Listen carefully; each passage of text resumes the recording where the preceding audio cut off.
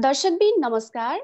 तपाईँहरूलाई स्वागत छ हाम्रो पत्रकार महासङ्घ युरोप शाखाले सञ्चालन गर्दै आइरहेको कोरोना कहर इटाली संवाद कार्यक्रम आज दसौँ श्रृङ्खला लिएर हामी उपस्थित भएका छौँ।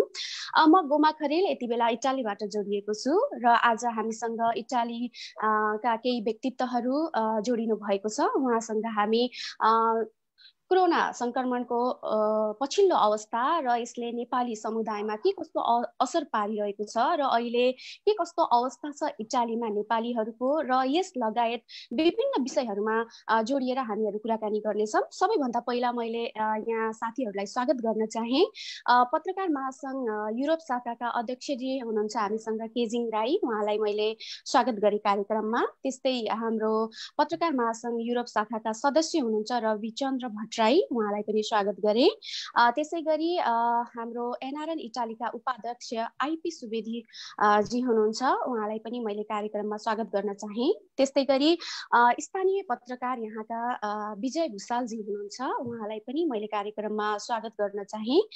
त्यसै गरी विद्यार्थी हुनुहुन्छ हामीसँग आज जोडिनु भएको छ पादोवा युनिभर्सिटीमा अध्ययनरत पिएचडीका विद्यार्थी हुनुहुन्छ निशा शर्मा उहाँलाई पनि मैले कार्यक्रममा स्वागत गर्न चाहेँ।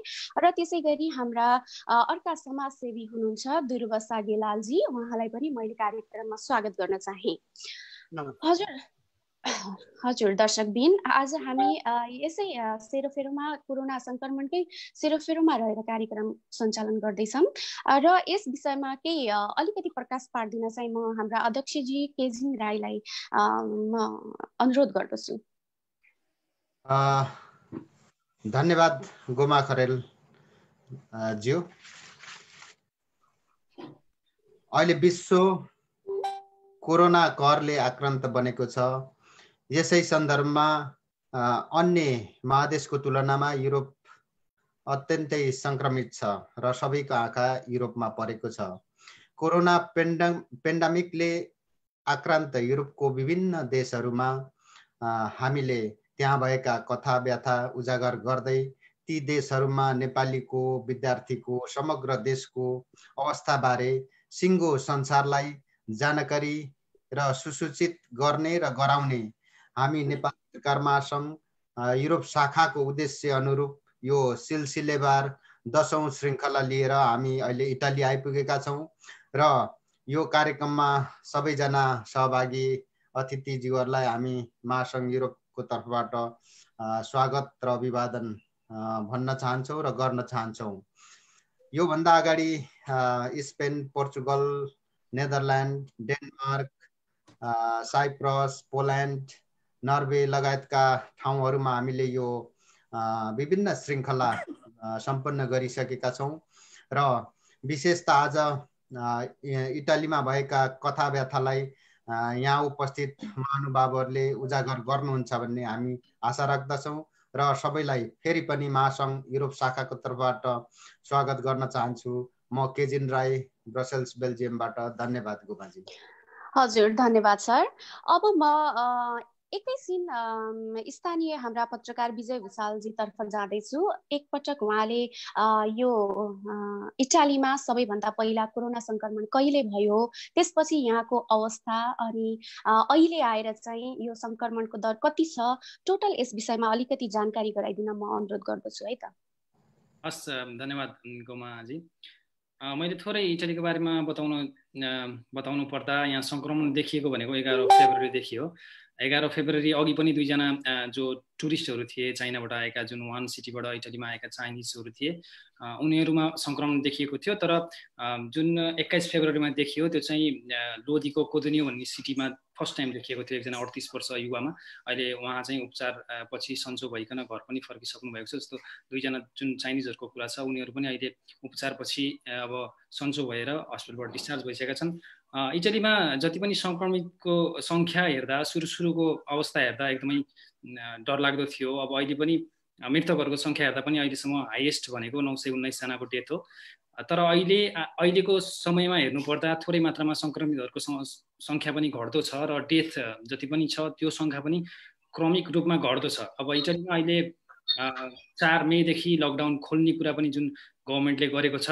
अब चार तारिकपछि चार मेपछि हेरौँ अब त्यसको अवस्था के हुन्छ त्यो अब हेर्नु नै छ। अब समाचारहरूमा आए अनुसार अब चार तारिकपछि सङ्क्रमण खुलिसकेपछि पनि अवस्था फेरि पनि डरलाग्दो हुने हो कि भन्ने कुराहरू पनि आएका छन्। अब त्यो विषयमा अब हामीले पनि हेर्नै पर्ने अब नेपालीको नेपालीहरूको विषयमा थोरै कुरा गर्नुपर्दा अब जानकारीमा जति पनि आएको छ पन्ध्र सयको हाराहारीमा हामी नेपाली छौँ भन्ने कुरा छ। अब दूतावासले भन्दाखेरि सोह्र सय सत्र सयको हाराहारीमा भन्ने कुराहरू पनि जुन छन् अब त्यो आधिकारिक नभएको हुँदा हामी एक्ज्याक्ट मैले डाटा यहाँ प्रस्तुत गर्न सकि सकिनँ। हामी नेपाली कति छौँ भन्ने कुरा।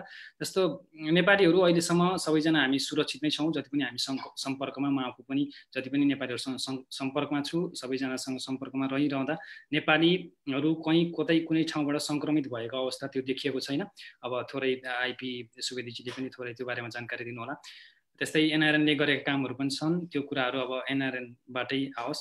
अरू मैले भन्नुपर्दा हामी इटलीमा हामी स्वयं म यहाँ लेनियानो जुन सिटीमा बस्छु यहाँ मेरो साथी पनि हुनुहुन्छ अजय शर्माजी।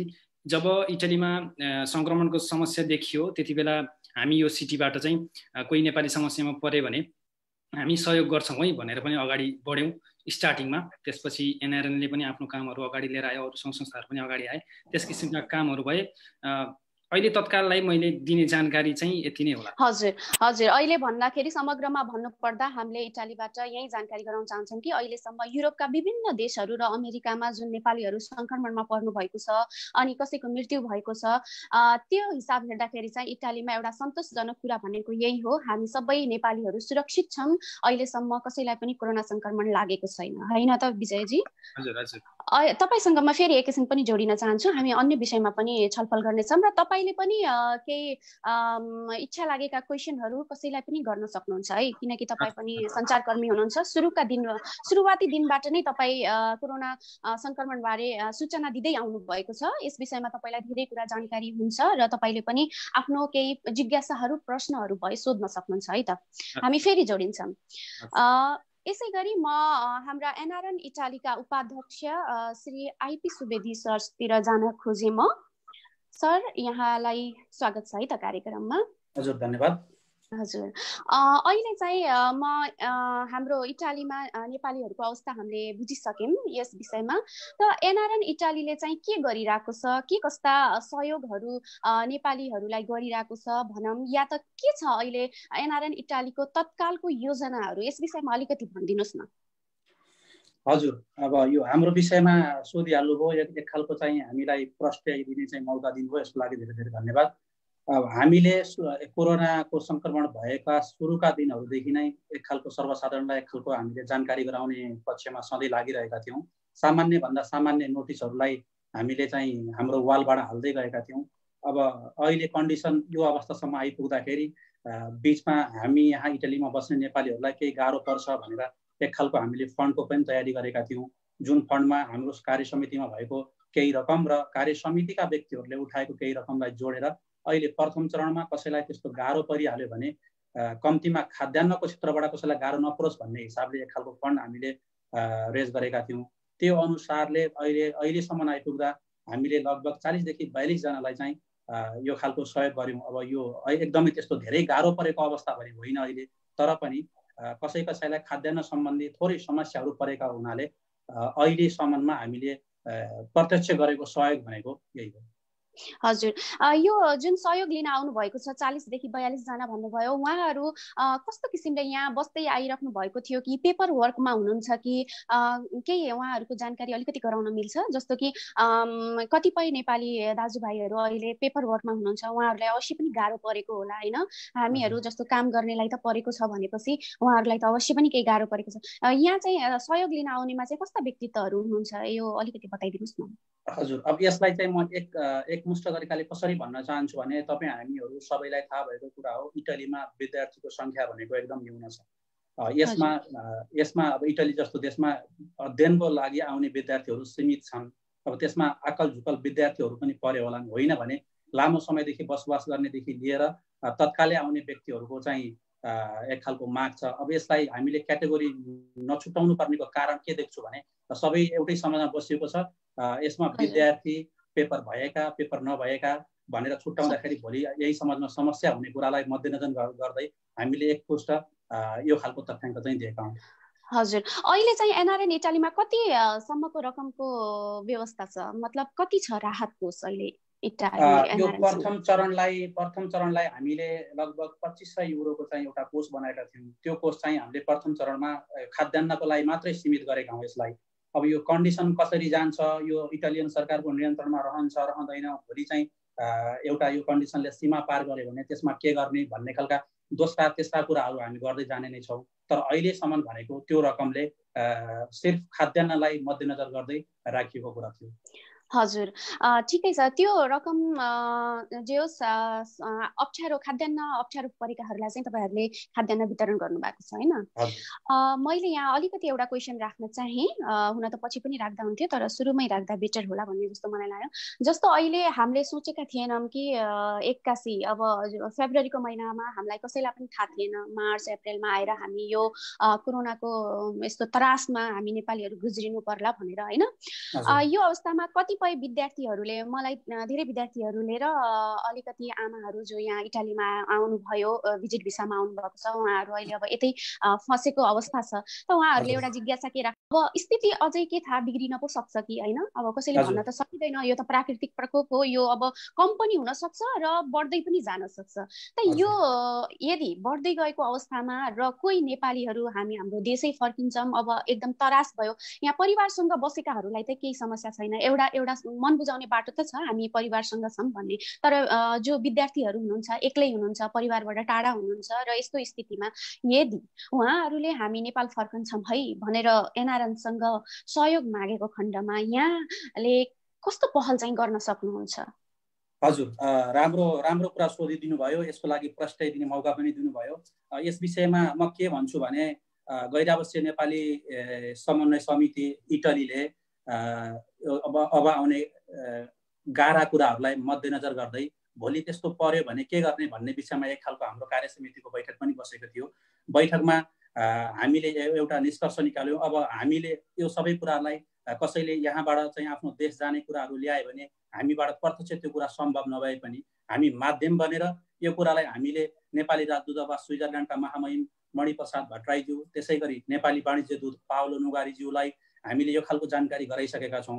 उहाँहरूले हामीलाई एक खालको यस्तो आश्वासन दिनुभएको छ कि आशा गरौँ यो समस्या बिग्रेर त्यसरी नजाला भोलि कन्ट्रोलमा नरहिकन सिचुएसन बिग्रिहाल्ने अवस्था नरहला। तर भोलि कथम कजाति कताति त्यस्तो केही भइहाल्यो भने तपाईँहरूले हामी समक्ष ल्याएका कुराहरूलाई हामी नेपाल सरकार सामु सामु पुर्याउँछौँ। भोलि त्यस्तै अप्ठ्यारो परिआयो भने जान सक्ने वातावरण हामी बनाउनुपर्छ। त्यो बनाउने भनेको काम हाम्रो नै हो भन्ने खालको एक खालको आश्वासन चाहिँ हामीलाई दिएको अवस्था हो। हजुर भनेपछि यस्तो त्यस्तो केही अवस्था आयो भने हामीले एनआरएन इटालीलाई गुहार्दा हुन्छ हामी सबै नेपालीले। हजुर मैले भनिहालेँ तपाईँलाई प्रत्यक्ष मैले भनिहालेँ प्रत्यक्ष हामीले गर्न सक्ने अवस्था त्यो होइन किनभने यहाँनिर इटली अब इटली एक आर्थिक हिसाबले त्यसरी दह्रो अवस्थामा पनि छैन। तर मैले भनिहालेँ हामी माध्यम बनेर हाम्रा कुराहरू र यहाँ गाह्रो परेर रहेका अन्य नेपालीका कुराहरूलाई हामी मार्फत हामीले त्यसरी निवेदन गर्न सक्ने स्थिति चाहिँ छ। हजुर। हस् त धन्यवाद आइपी सुवेदी सर। यहाँसँग हामी फेरि पनि जोडिनेछौँ। अब म एकैछिन हाम्रो विद्यार्थी निशा शर्मातिर लाग्न चाहेँ जो युनिभर्सिटी अफ पादोबाका स्टुडेन्ट हुनुहुन्छ पिएचडी होल्डर हुनुहुन्छ उहाँ। निशाजी तपाईँ लाइनमै हुनुहुन्छ नि? हजुर हजुर। हजुर तपाईँलाई स्वागत छ है कार्यक्रममा। हजुर धेरै धेरै धन्यवाद यो अपर्च्युनिटी दिनुभएकोमा सबैजनालाई। हजुर। अलिकति आफ्नो बारेमा बताइदिनुहोस् न तपाईँ यहाँ कहिलेदेखि बस्दै आइराख्नु भएको छ अनि त्यसपछि तपाईँको अध्ययन कहाँसम्म पुग्यो र अहिले तपाईँलाई केही त्यस्ता अप्ठ्याराहरू छन् कि समस्याहरू छन् कि र ती समस्या समाधान गर्नको लागि तपाईँको अगाडि हुनुहुन्छ हाम्रा एनआरएन इटालीका उपाध्यक्ष। उहाँसँग तपाईँले प्रत्यक्ष रूपमा आफ्नो जिज्ञासाहरू राख्न सक्नुहुन्छ है? हजुर हस् धेरै धेरै धन्यवाद फेरि पनि। म चाहिँ एक्चुली पिएचडी स्टुडेन्ट होइन मैले रिसेन्टली नै फर्मर पिएचडी स्टुडेन्ट भनौँ मैले मार्चमा फेब्रुअरीमा चाहिँ रिसेन्टली चाहिँ फाइनल डिस्कसन दिएको हो। त्यही भएर I have completed my PhD as a student भन्नु पर्दाखेरि मेरो मात्रै प्रब्लम नभनौँ एज अ ओभरअल स्टुडेन्टको कुरा गर्दाखेरि हजुर तपाईँ सबै सबै सबै विद्यार्थीहरूको प्रब्लमलाई तपाईँले राख्न सक्नुहुन्छ है? सबैको प्रतिनिधित्व तपाईँले गरिदिनुहोस्। जोसँग अब हामीसँग एज अ स्टुडेन्ट हामीहरूलाई एज अ ओभरअल हेर्ने हो भने it's a better it's a fine अरू अरू कन्ट्रीको उसमा मूल्याङ्कन गर्ने हो भने चाहिँ किनभने जो जो यहाँ इटलीमा आउनुहुन्छ उहाँसँग चाहिँ जो प्रायः नाइन्टी पर्सेन्ट स्टुडेन्ट्सहरूसँग चाहिँ स्कलरसिप हुन्छ फन्डिङ नै हुन्छ। म चाहिँ यहाँ टु थाउजन्ड फोर्टिनदेखि नै छु। टु थाउजन्ड फोर्टिनदेखि नै म फन्डिङ म स्कलरसिप मलाई केही केही कुराको पनि दुःख छैन। तर स्टिल पनि हामी जे भए पनि नयाँ ठाउँमा आउँदाखेरि गाह्रो त अभियसली नै भइहाल्छ होइन? तर त्यस्तो त्यो त्यो गाह्रोको कुरा नगरौँ। त्यही भएर ओभरअल स्टुडेन्टलाई हेर्ने हो भने हामीसँग त्यस्तो खासै अहिले त्यस्तो केही प्रब्लम छैन। म अरू विद्यार्थी अरू स्टुडेन्ट भाइ बहिनीहरूसँग पनि कुरा गरिरहेको थिएँ एक दुई दिन अगाडि। अनि उहाँले उहाँहरूले पनि भन्दै हुनुहुन्थ्यो ठिकै छ दिदी त्यस्तो खासै प्रब्लम त छैन। तर यस्तै लामो लम्बिँदै गयो भने चाहिँ हामी नेपाल जान पाए चाहिँ राम्रो हुन्थ्यो भनेर चाहिँ उहाँहरूको पनि गुनासो थियो। त्यही भएर सबैजना तपाईँहरूलाई पनि त्यही नै क्वेसन हो मेरो अघि जसरी सुवेदी सरले भन्नुभयो होइन? हामीले अब हामीले एक्ज्याक्टली गर्ने उ त सल्युसन त हामीसँग केही पनि नै छैन। ल तपाईँहरू आउनुहोस् हामी प्लेनमा हालेर लिएर जान्छौँ भन्ने सल्युसन त त्यो त छैन होइन? तर उहाँले पल गरिदिन्छु भन्नुभएको छ आई थिङ्क त्यही नै बेटर हुन्छ होला अहिलेलाई चाहिँ। त्यही नै हो त्यस्तो खासै क्वेसन चाहिँ छैन किनभने सुवेदी सरले अघि नै भनिसक्नुभयो म गर्न सक्दिनँ भन्नुभएको भए त्यो अर्कै क्वेसन हुन्थ्यो होइन? ट्राई गर्छु हामीबाट जे सकिन्छ हामीले गर्छु भन्नुभएको छ। अब अहिलेको अहिलेको यो सिचुएसनमा आएर सबैजनाले भन्ने नै त्यही नै हो अब।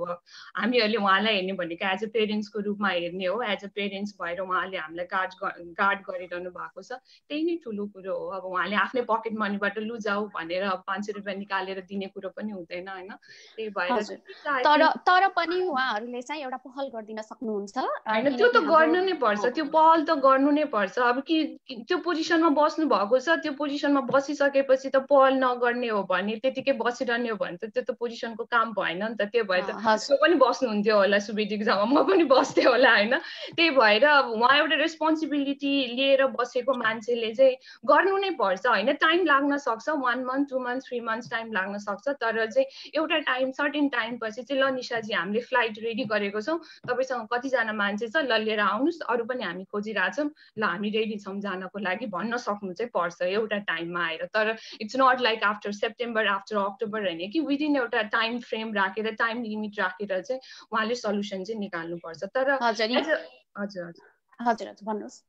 तर एज अ स्टुडेन्ट चाहिँ overall we are fine year हामीलाई त्यस्तो खासै गाह्रो पनि छैन। म जोसँग कनेक्टेड छु उहाँहरू पनि सबै नै हेल्दी नै हुनुहुन्छ। कसैलाई पनि इन्फेक्सन भएको छैन। सबैजना हेल्दी नै हुनुहुन्छ। हजुर. हस् धन्यवाद निशाजी हामी फेरि पनि जोडिन सक्छौँ यहाँसँग है। निशाजीले भने जस्तै इटालीमा यो चाहिँ अब एउटा सन्तोषजनक कुरा नै हो। कुनै पनि विद्यार्थीलाई अप्ठ्यारो परेको छैन भन्नुभयो। किनकि हामीले अरू देशहरूमा हेर्न सक्छौँ। विद्यार्थीहरू प्राय अप्ठ्यारोमा पर्नु भएको छ र उहाँहरूले जुन सहयोग माग्नु भएको हामी विभिन्न न्युजहरू च्यानलहरूमा हेरिरहेका छौँ। त्यो अवस्थामा चाहिँ इटालीमा विद्यार्थीहरूलाई समस्या छैन भनेर उहाँले भन्दाखेरि चाहिँ एउटा अलि सन्तोषजनक नै लाग्यो यो कुरा सुन्न पाउँदा। यदि कसैलाई त्यस्तो अप्ठ्यारो परेको खण्डमा चाहिँ अवश्य पनि यहाँका नेपाली समाजहरू अनि केही व्यक्तित्वहरू अघि विश्ला विजय भूषालजीले पनि भनिसक्नुभयो उहाँहरूले पनि सहयोग गरिराख्नु भएको छ। तपाईँको सम्पर्कमा यदि कोही विद्यार्थीहरू त्यस्तो अप्ठ्यारो परेको कुरा लिएर आउँछन् भने पक्कै पनि तपाईँले उहाँहरूलाई सम्पर्क गराइदिन सक्नुहुन्छ निशाजी अहिलेलाई धन्यवाद है त। अब म कार्यक्रम को अर्को चरणमा पुग्दैछु। यहाँ चाहिँ म हाम्रो रविचन्द्र भट्टराई सरलाई निवेदन गर्न चाहन्छु। यहाँलाई केही जिज्ञासाहरू केही छ भने हामीलाई प्रश्न गर्न सक्नुहुन्छ।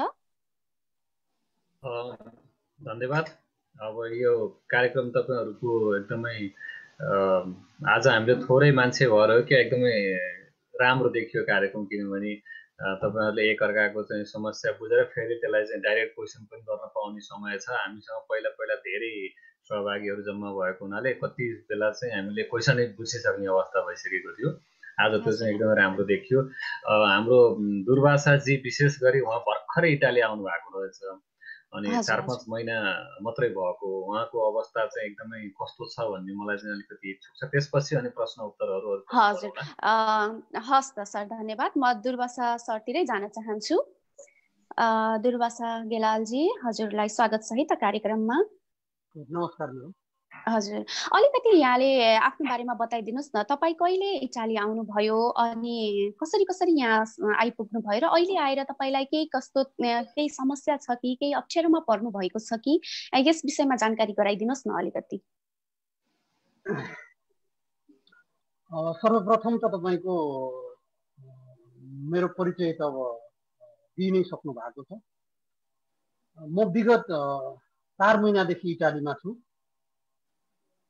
अब सर्वप्रथम त म सामाजिक सञ्जाल फेसबुक लाइभबाट यहाँहरूसँग तिनजना र दुई शब्द राख्ने अवसर प्रदान गर्नुभएकोमा नेपाल पत्रकार महासङ्घ युरोप शाखालाई हृदयदेखि नै धन्यवाद व्यक्त गर्दछु।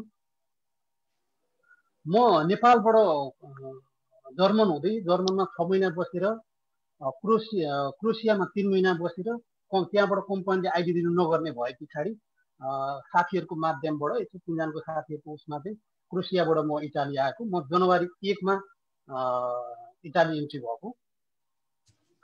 त्यस पछाडि म यहाँ तिनजनाको साथीभाइ आफ्नै तपाईँको गाउँकै दाई युवराज आचार्य भन्ने उहाँको उसमा चाहिँ अनि म यहाँ रहँदै आएको छु। अनि जस्तै एक खालको यहाँ लिगल प्रोसेस पनि हुँदो रहेछ। तपाईँको पुलिसमा चाहिँ अब तपाईँ कस्तुरा हुँदो रहेछ है? पुलिसमा पनि अब लिगल प्रोसेस हुँदो रहेछ। त्यो लिगल प्रोसेसको लागि चाहिँ हामीले अगाडि बढ्यौँ। अनि त्यस पछाडि पुलिसले दुई चरणको तपाईँको हामीलाई टाइम दियो त्यो दुई चरणको टाइममा हामी गयौँ अनि तपाईँको फिङ्गर सिङ्गर गरायो अनि डकुमेन्ट अस्ति बिस तारिकको हामीलाई चाहिँ अब टाइम दिएको थियो। अब यो लकडाउनले गर्दाखेरि त्यो पुलिस स्टेसन बन्द भएको कारणले गर्दाखेरि हामी जान पाएनौँ। अब त्यसको लागि अब तपाईँको अझै बुझ्नु नै छ तपाईँको कहिले बोलाउने हो कहिले जानुपर्ने हो त्यो हामी अनबुझी नै छौँ।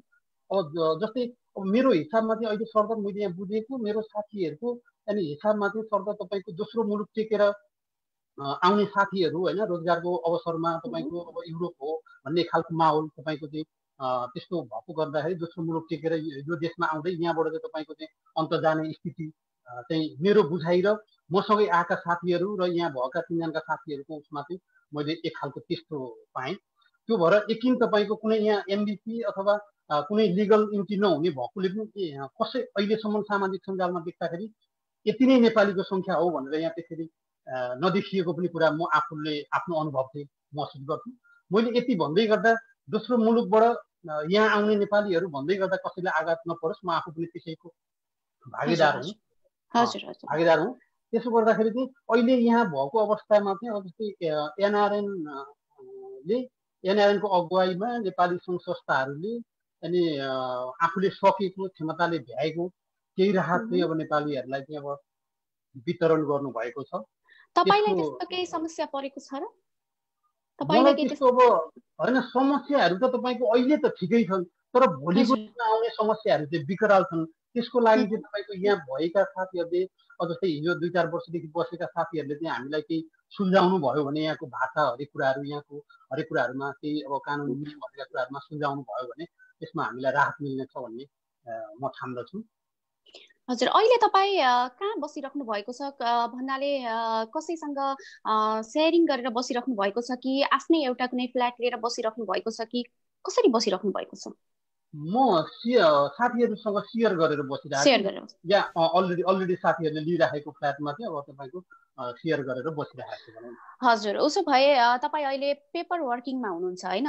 हजुर एकदम पेपर हजुर अनि तपाईँलाई केही समस्या परेको खण्डमा अवश्य पनि यहाँले एनआरएन इटालीसँग सम्पर्क गर्न सक्नुहुन्छ र केही तपाईँलाई जिज्ञासा छ भने हाम्रो उपाध्यक्ष सरसँग क्वेसन राख्न सक्नुहुन्छ है। हजुर होइन मेरो जिज्ञासाहरू छ तपाईँको होइन म अलिकति विगत तपाईँको अलिकति लामो पनि होला कि अब कसो होला होइन फेरि पनि अब चान्स त आउला होइन। अब विगतमा तपाईँको म अलिक कतारमा लामो समय पन्ध्र सोह्र वर्ष बसेको कारणले गर्दाखेरि त्यहाँ पनि विभिन्न सङ्घ संस्थामा काम गरेको र त्यहाँ पनि कतार एनआरएनको चाहिँ म सदस्य भएको हैसियतले। अनि अहिलेको अवस्थामा अनि विकराल स्थिति देखिएको छ तपाईँको। धेरै नेपालीहरू तपाईँको अप्ठ्यारोमा छन् भयावह स्थिति छ रोजगार घुम्ने अवस्था छ। हुनेले सक्नेहरूले त ठिकै छ एडजस्ट गर्ला तर नहुने अवस्थाको नेपालीहरूलाई चाहिँ विकराल स्थिति छ। यहाँ मात्रै नभएर विश्वभर। त्यो भएको कारणले गर्दाखेरि एउटा देशभन्दा बाहिर रहेको अनि एम मलाई लाग्छ एमबिसी भन्दा ठुलो पावर रहेको एन एनआरएनले चाहिँ देशलाई केही एउटा बुलन्द आवाज हामी सबैको एउटा बुलन्द आवाज चाहिँ सरकार समक्ष पुर्याउँछ भन्ने आशा लिएको छु र पुर्याउनु पनि पर्छ किनभने विभिन्न कालखण्डका नेपालमा भएका महामारीहरू दैविक प्रकोपहरूमा अनि विश्व एनआरएनले लगायत विभिन्न सामाजिक संस्थाहरूले अनि सहयोग गर्दै आएका छन्। यो अवस्थामा चाहिँ नेपालमा भन्दा पनि यहाँ चाहिँ बढी भयावह स्थिति छ र समस्या छ। किनभने नेपालमा पनि नभएको त होइन तर नेपालमा सरकारले गरेको सरकारले गरेको ना लकडाउनलाई सहर बजारका गाउँमा जाने मान्छेहरूलाई चाहिँ एउटा प्रक्रियामा चाहिँ पठाइदियो भने त्यति भयावह अवस्था देखिँदैन नेपालमा। किनभने जङ्गलै पसेर पनि अनि फलफुल टिपेर पनि बाँच्न सकिन्छ। हजुर हजुर। तर यहाँ चाहिँ तपाईँको विदेशमा इभन यहाँ मात्रै नभएर विश्वभर छरिएका साठी सत्तरी लाख युवाहरू चाहिँ तपाईँको समस्यामा पर्ने देखिन्छ। त्यो भएकोले गर्दाखेरि अनि एनआरएनको मार्फतमा अनि सम्पूर्ण नेपालीहरूलाई अनि सरकारसँग बुलन्द आवाज एकीबद्धता जाहेर गर्न चाहिँ विनम्र अनुरोध गर्दछु। हजुर यहाँको समग्रमा भनाइ चाहिँ एनआरएनले दबाब दिनु पर्यो नेपाल सरकारलाई। यहाँको समस्याहरू नेपालीहरूको समस्याहरू बताउनु पर्यो भन्ने चाहनुहुन्छ। एकदम बिल्कुलै। हजुर हजुर। यसको लागि हामीले पनि के गर्नुपर्छ हामी गर्न तयार छौँ। हजुर हजुर। आफ्नो तर्फबाट पनि तपाईँहरूले सहयोग गर्न रेडी हुनुहुन्छ। हजुर। हजुर दुर्गा सर सर एकैछिनपछि फेरि हामी यहाँसँग जोडिनेछौँ। अहिलेको लागि धन्यवाद है त तपाईँलाई। हजुर दर्शकबिन तपाईँहरू अहिले कोरोना कहर इटाली संवाद हेरिराख्नु भएको छ। अब म फेरि हाम्रा विजय भूषाल सरतिर जाँदैछु। उहाँलाई म केही कुरा उहाँको जिज्ञासामा भए राख्नको लागि अनुरोध गर्छु। धन्यवाद। मैले थोरै हाम्रो आइपी सुवेदीजीलाई एनआर एनआरएन भनौँ उहाँलाई पर्सनल भन्दा पनि एनआरएनलाई केही क्वेसनहरू मैले आफ्नो पर्सनल भन्दा पनि सबैलाई समेटेर हजुर सबैलाई समेटेर उहाँलाई चाहिँ तपाईँले एउटा अब जिज्ञासा तपाईँलाई केही छ भने उहाँप्रति किनकि तपाईँ निरन्तर लागिराख्नु भएको छ सूचना प्रभाव गर्न र तपाईँलाई धेरै कुराको जानकारी छ यस विषयमा पनि त्यही भएर चाहिँ तपाईँलाई केही जिज्ञासा केही जानकारीहरू भए उहाँसँग विद्यार्थी हाम्रा निशासँग पनि केही सोध्न सक्नुहुन्छ। अब चाहिँ तपाईँ उहाँहरूसँग केही अन्तर्क्रिया गर्न सक्नुहुन्छ है त विजय सर?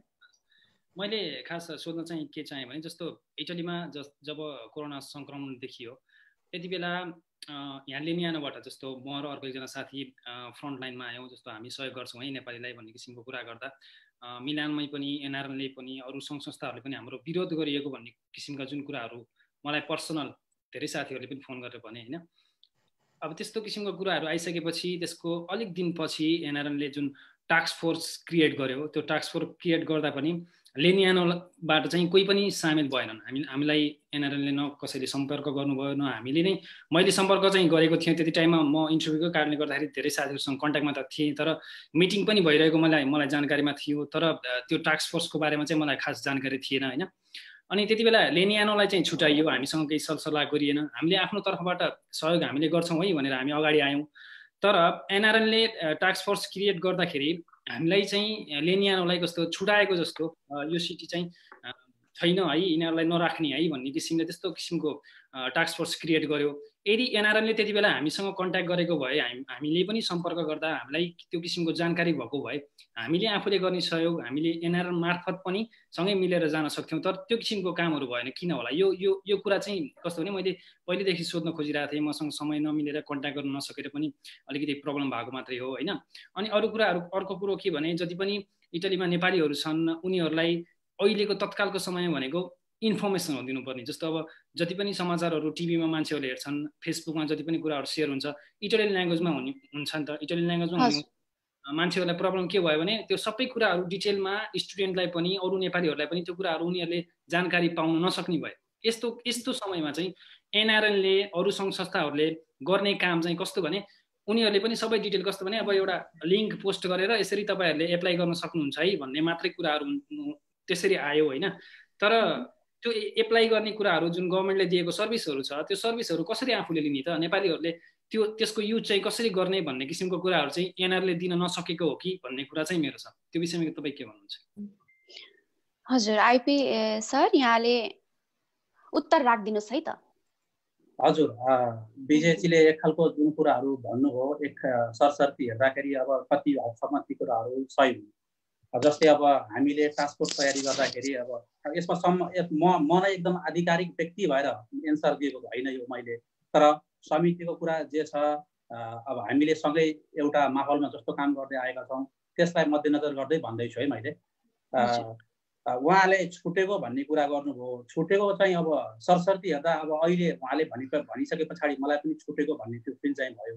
तर साथीहरूसँगको पहिलाको मेरो एक खालको संवाद पनि भएको थियो। उहाँहरूले के भन्नुभयो भने लेनियानो त मिलानै अन्तर्गत पर्छ प्लस उहाँहरू आफै मिडियामा हिँड्ने साथीहरू हुनुहुन्छ आफै जागरुक हुनुहुन्छ उहाँहरूसँग चाहिँ त्यस्तो धेरै समस्या नपर्ला आफै पनि सम्पर्कमा आउनु सक्नुहुन्छ भन्ने खालको कुरा चाहिँ साथीहरूले पनि गर्नु भएको थियो छुटेको केसमा चाहिँ अब मलाई पनि अहिलेसम्म के भरम थियो भने लेनियानो मिलानभित्रै पर्छ भन्ने थियो।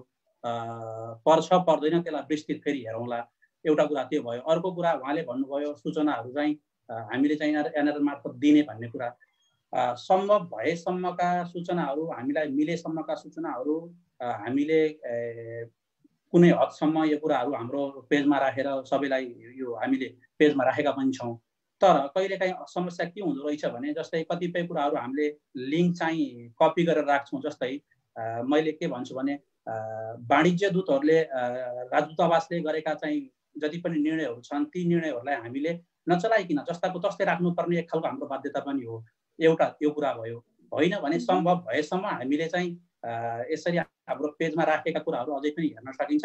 तर विजयजीले भने जस्तै कतिपय कुराहरू उल्था गर्दै सजिलो हुन्थ्यो भन्ने कुरामा चाहिँ म पनि सहमति छु। अबका दिनमा सम्भव भएसम्म ती कामहरू हामी गर्नेछौँ। र म मार्फत मैले समितिमा मेरो अध्यक्ष महासचिवज्यू लगायत आइसिसी सदस्यलाई पनि यो विषयमा जानकारी गराउने बाचा गर्दछु। मैले थोरै एउटा कुरो के जोड्न चाहेँ भने जस्तो अहिले फेसबुकमा पनि मैले एउटा ग्रुप क्रिएट गरेको छु त्यसमा चाहिँ नेपाली नेपाली इन इटली भनेर। त्यहाँ मैले चाहिँ जति सक्छु नेपालीहरूलाई जोइन जोइन गरिरहेको छु होइन। मैले यही यही गभर्मेन्टले जति पनि कुराहरू लिएर आएको हुन्छ जस्तो बोनस पेजा भन्ने थियो त्यो जुन सपिङ सेन्टर सपिङ गर्नको लागि गाविसबाट पाइने कुराहरू अब जस्तै पाकेत्तो फ्यामिली आएर भनेर त्यो फ्यामिलीको लागि दिने जुन इन्फर्मेसन छ चार मेबाट सुरु हुँदैछ त्यस्तो किसिमको इन्फर्मेसनहरू जति पनि इटलीमा गभर्मेन्टहरूले दिन्छन् इन्फर्मेसनहरू नेपालीहरूको लागि आवश्यकता हुने त्यस्तो किसिमको इन्फर्महरू म आफूले पनि दिइरहेको छु। है त्यो एउटा ग्रुप छ त्यसमा अरू नेपालीहरू पनि जति पनि इटलीमा हुनुहुन्छ उहाँहरू पनि जोइन हुन सक्नुहुन्छ। मैले त्यो पर्सनल वाइज हामी लगभग दुई सय पचासजना त्यहाँ जोइन भइसकेका छौँ। मैले प्राइभेट गरेर गरेको छु। त्यो हामीले मैले आफूले इन्फर्मेसन नेपालीहरूलाई दिने इन्फर्मेसन अरू बाहिरतिर फ्ल्यास नहोस् भन्ने किसिमले प्राइभेट किसिमको छ त्यो ग्रुप त्यसमा धेरैजना जोडिन सक्नुहुन्छ। मैले आफूले पर्सनल वाइज त्यो इटलीमा जब सङ्क्रमणको सङ्ख्या बढ्दै गयो त्यसपछि मैले सुरुमा गरेको काम भनेकै त्यही हो। मैले सबै नेपालीहरूलाई ग्यादरिङ गर्ने काम गरेँ। जतिले कतिले मेरो विरोध गरे कतिले सपोर्ट गरे त्यो आफ्नो ठाउँमा छ। अब मान्छेले विरोध गरे भन्दै अब काम गर्न छोड्ने कुरो भयो तर मैले कसरी सक्छु नेपाली समुदायलाई इटलीमा कसरी सहयोग गर्न सक्छु त्यो मैले आफ्नो ठाउँबाट गरिरहेको छु। हजुर। विजयजी यहाँले नै अलिकति यस विषयमा बताइदिनुहोस्। तपाईँले भनिराख्नु भएको छ विभिन्न किसिमको इटालियन सरकारबाट जानकारीहरू आइरहेको छ। के कस्तो सुविधाहरू इटालियन सरकारले प्रदान गरिरहेको छ अहिले? अहिलेको अवस्थामा के कस्तो सुविधा लिन सकिन्छ? आम नेपालीहरू कसैलाई थाहा नभएको अवस्था पनि हुनसक्छ। के के के के राहत कोषहरू वितरण गरिराखेको छ? यस विषयमा अलिकति बताइदिनुहोस् न। सर्ट सर्ती है त? अलिक छोटकरी। अब इटली गभर्मेन्टले अब अहिले सङ्क्रमणको अवस्थामा जति पनि कन्ट्र्याक्टमा काम गर्ने मान्छेहरू छन् उनीहरूको लागि अस्सी पर्सेन्टको स्यालेरी भनेको छ तर त्यो स्यालेरी अझ पनि आइसकेको छैन। लगभग अब मार्च महिनाको स्यालेरी आउनुपर्ने हो अहिलेसम्म चाहिँ कसैले पनि पाएको अवस्था छैन जस्तो। मार्च महिनाको नौ तारिकसम्म जति पहिले जति नै पनि काम गरे हाम्रो म जुन कम्पनीमा काम गर्छु उनीहरूलाई चाहिँ नौ तारिकसम्मको स्यालेरी चाहिँ दिएको छ तर जुन कासा इन्टेग्रासन जुन बेरोजगारी भत्ता जस्तो गभर्मेन्टबाट पर्ने तलब त्यो चाहिँ अहिलेसम्म आइसकेको अवस्था छैन। अब त्यो कहिले आउँछ त्यो विषयमा जानकारी गर्छु। त्यस्तै अर्को अब यो लोम्बार्दिया जुन जुन छ त्यसमा चाहिँ चार मेबाट पाकेत्तो फमिलियारे भन्ने जुन फ्यामिली जति पनि समस्यामा छन् उनीहरूको सहयोगको लागि दिने भन्ने कुराहरू छ। त्यो बारेमा मैले पनि डिटेल हेर्दैछु। डिटेल सबै मसँग आइसकेपछि मैले सबै कुरो सबै मैले पनि त्यहाँ हेरिसकेपछि म आज बेलुकासम्ममा मेरो आफ्नै फेसबुकबाट अथवा त्यही ग्रुपमा म सेयर गर्नेछु। जस्तो अर्को यहाँ जति पनि विदेशीहरू छन् नेपालीहरू छन् इटालियनलाई पनि सरकार यहाँको इटालियन गभर्मेन्टले चाहिँ एउटै तरिकाको व्यवहार गरेको हुँदाखेरि जति पनि समस्यामा छन् उनीहरूको लागि चाहिँ सहयोग जस्तो बोनो स्पेजा भनेर जुन त्यो सपिङ गर्न मिल्ने खालको त्यो त्यस्तो खालको सर्भिसहरू पनि यहाँ गभर्मेन्टले दिएको छ। त्यसकारण अहिले तत्काललाई गभर्मेन्टले दिएको कुराहरू चाहिँ त्यति नै हुन्। अरू केही नयाँहरू नयाँ केही दिएको खण्डमा मैले नेपाली समुदायहरूलाई यहाँ इटलीमा जति पनि नेपालीहरू हुनुहुन्छ उहाँहरूलाई कसरी सेयर गर्ने भन्ने कुरो चाहिँ म आफूले दिइरहेको छु भनौँ। म त्यसमा चाहिँ लागि परेको छु।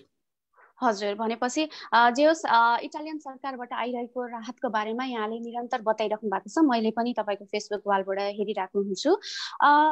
यसै सन्दर्भमा म अर्को कुरा राख्न चाहेँ हाम्रा एनआरएन उपाध्यक्षज्यूलाई।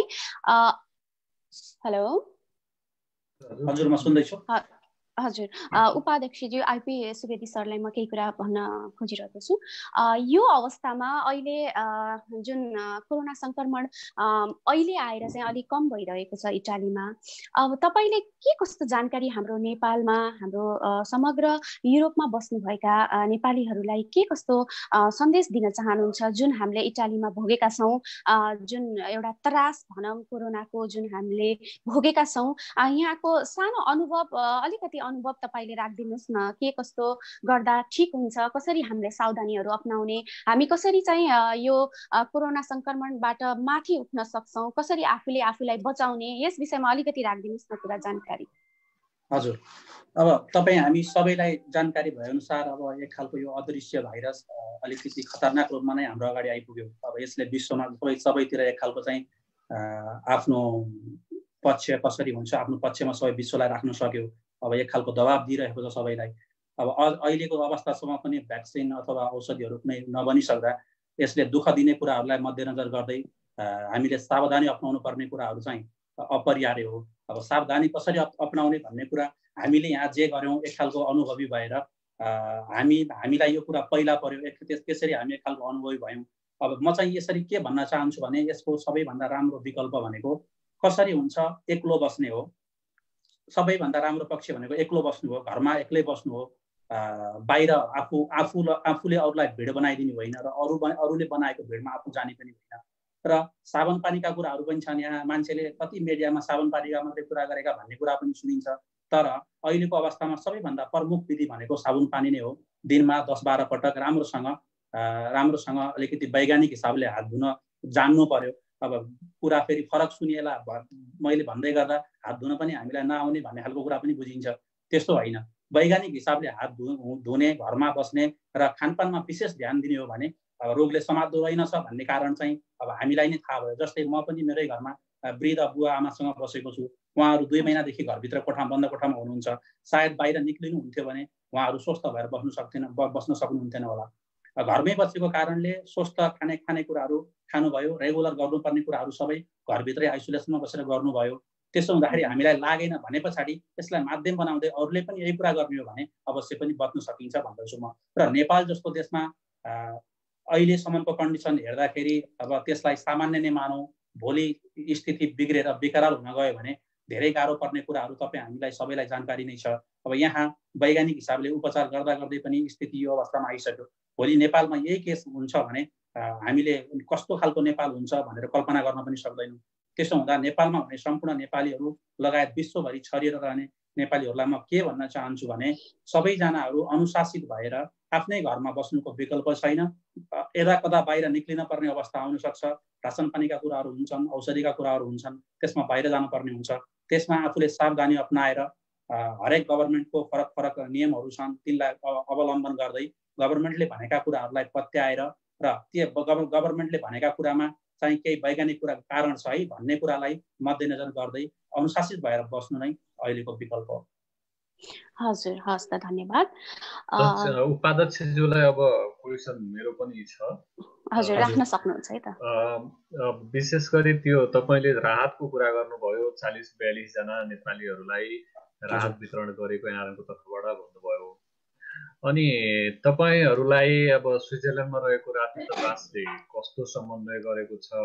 राजदूतावासले कस्ता कस्ता कुराहरूमा तपाईँहरूसँग अब भोलिका दिनहरूमा पनि अब विद्यार्थीहरू पनि हुनुहुन्छ त्यहाँ उहाँहरू नेपाल जान खोजिरहनु भएको होला। लकडाउन खुलेपछि अथवा भोलि त्यो अवस्था भएपछि त्यो कस्तो समन्वय भइरहेको छ तपाईँहरूको राजदूतावाससँग कुराकानी मात्रै भइरहेको छ कि भोलि केही अब त्यस्तो अवस्था पर्यो भने राजदूतावासले होइन? अब अस्ति भर्खरै सुनियो हिजो हो कि आज बिहान हो कि मैले एउटा न्युजमा पनि देखेको थिएँ।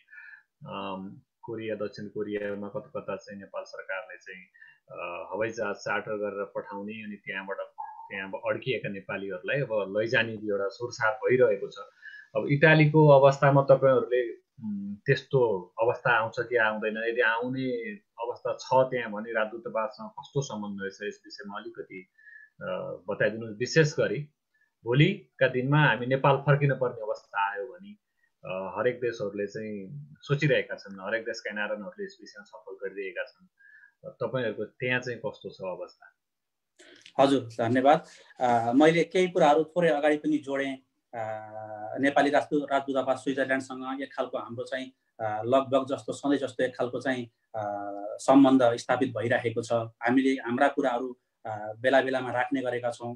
अब भोलि पर्न सक्ने गाह्रो कुरालाई सङ्केत गर्दै पनि हामीले नेपाली वाणिज्य दूत पाउलो जो जो चाहिँ नेपाली समुदायलाई निकै नजिकमा बसेर काम गर्न रुचाउनुहुन्छ। पाउलो नुगारी यहाँहरूलाई पनि जानकारी होला। उहाँ मार्फत पनि भोलिको दिनमा इटलीमा यस्तो गाह्रो कुराहरू पर्न आयो भने यहाँ रहने नेपालीहरू नेपाल जान चाहेको खण्डमा हामीले के गर्ने त भन्ने कुरामा यसलाई सङ्केत गर्दै हामीले यो कुरा पहिले नै राखिसकेका छौँ।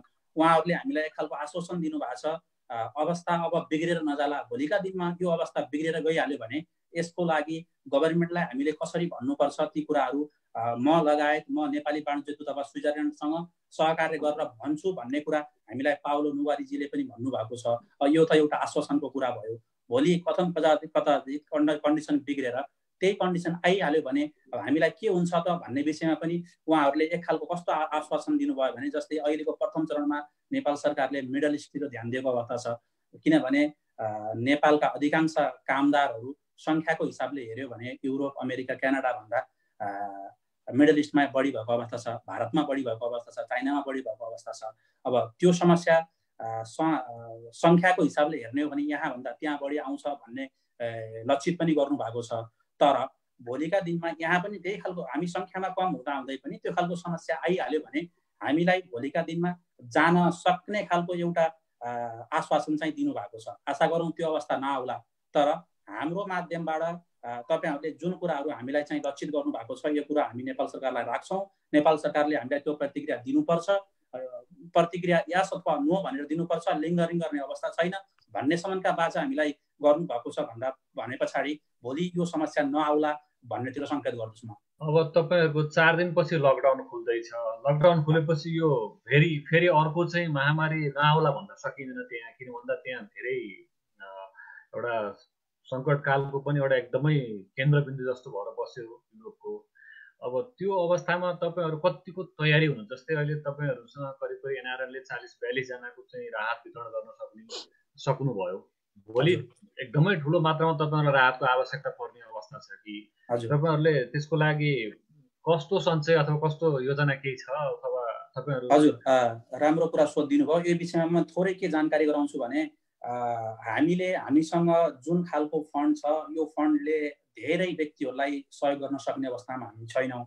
हामी यो अवस्थामा नहुँदा नहुँदै पनि हामीले गैर समन्वय समन्वय परिषद अन्तर्राष्ट्रिय समन्वय परिषदलाई हामीले के निवेदन गरेका छौँ भने इटलीमा सङ्ख्यामा रहेका एउटा पन्ध्र सयको सङ्ख्यामा रहेका नेपालीहरू छौँ। अहिलेसम्म खासै त्यस्तो जघन्य ठुलो अपराध भइसकेको अवस्था छैन धेरै गाह्रो परिसकेको अवस्था पनि छैन। तर भोलिका दिनमा यो चाहिँ अवस्था बिग्रेर केही गाह्रो पऱ्यो भने हामीलाई एनआर एनआरएनए केन्द्रले चाहिँ हामीलाई हेर्नुपर्छ भन्ने कुरा पनि सङ्केत गर्दै हामीले हाम्रा यहाँका समस्याहरूलाई निवेदन गरिसकेका छौँ। आशा गरौँ भोलिका दिनमा केन्द्रले पनि हामीलाई एक खालको स्थिति बिग्रिहाल्यो भने एक खालको सहयोग गर्छ भन्ने चाहिँ हामीलाई आशा छ। अहिलेसम्म केन्द्रबाट त केही भएको छैन अहिलेसम्म केन्द्रबाट आधिकारिक कुराहरू आइसकेका छैनन्। अब अन्य देशहरूलाई गए बमोजिमको हामीलाई आउने कुरा फरक कुरा भयो। अब त्यो पनि हातमा नपरेसम्म भन्ने अवस्था पनि रहेन।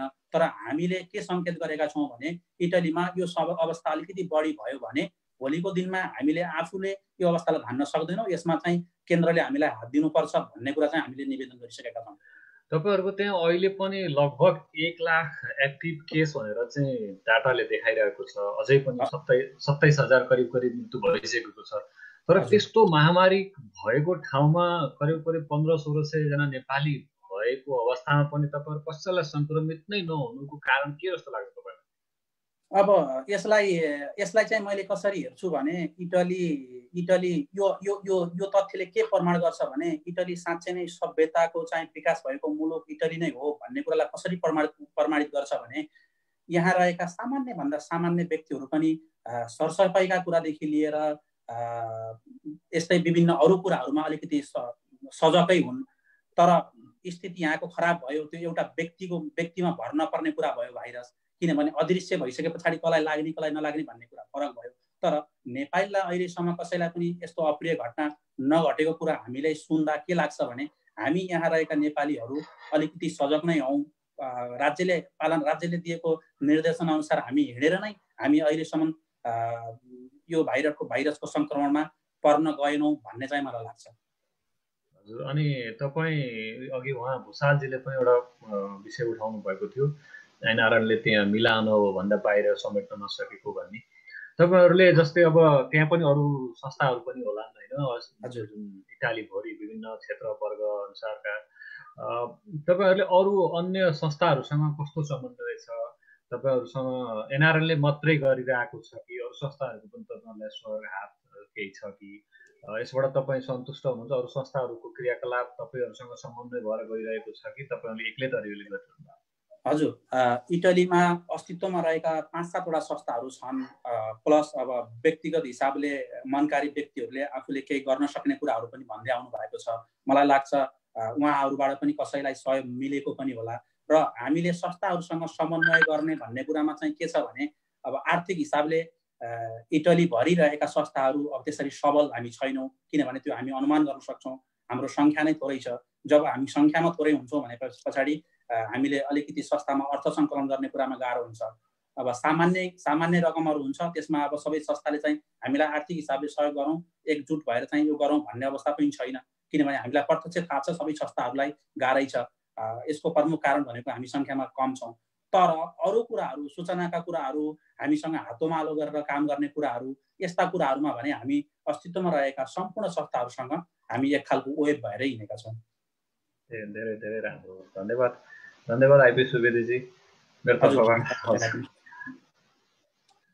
गोमाजी सुरु गर्नु हजुर हजुर अब चाहिँ लगभग हाम्रो सबै जिज्ञासाहरू सकिएकै अवस्था हो कि कार्यक्रम टुङ्ग्याउनतर्फ लाग्ने हो कि विजय भूषालजीलाई केही कुराहरू राख्नु मन थियो कि तपाईँ केही सोध्न चाहने कसैलाई निसाजीलाई सोध्न चाहे तपाईँहरू यहाँ स्टुडेन्ट हुनुहुन्छ होइन तपाईँहरूलाई त अब जब पनि नहुने भइसकेपछि अलिकति समस्या भनेको आर्थिक नै हो होइन? रेन्टमा पनि बस्नुहुन्छ होला घरबाट यस्तो चाहिँ कसरी म्यानेज भइरहेछ? यदि तपाईँहरूलाई त्यो म्यानेज गर्न नसकेको खण्डमा अब समस्या त हुन्छ नै। के छ मेरो पर्सनल्ली चाहिँ अब मलाई चाहिँ अहिले अहिले चाहिँ अलिक गाह्रो नै छ किनभने मेरो स्यालेरी आउन छुटेको चाहिँ सेप्टेम्बर अक्टोबरदेखि नै हो। त्यहाँदेखि चाहिँ मेरो स्यालेरी छैन। अब त्यसपछि मैले जुन चाहिँ गरिरहेको छु सबै सेभिङ्स नै हो। त्यहाँदेखि म यहीँ नै छु अझै बिचमा एकचोटि नेपाल गएँ फर्केर आएपछि त्यो जो सेभिङले म्यानेज गरिरहेको छु अहिलेसम्म चाहिँ। अब अर्को एक महिना अथवा three weeks to four weeks चाहिँ म म्यानेज गर्न सक्छु। बस्नलाई मलाई खासै त्यति गाह्रो छैन किनभने मेरो इटालियन साथीहरू छन् उहाँहरूले पनि साह्रै नै हेल्प गरिरहनु भएको छ होइन? तर अर्को एक महिना मैले यसरी नै एक्सटेन्ड गर्नु पर्यो भने चाहिँ मैले हात फैलाएर हिँड्नु नै पर्ने अवस्था छ मेरो चाहिँ।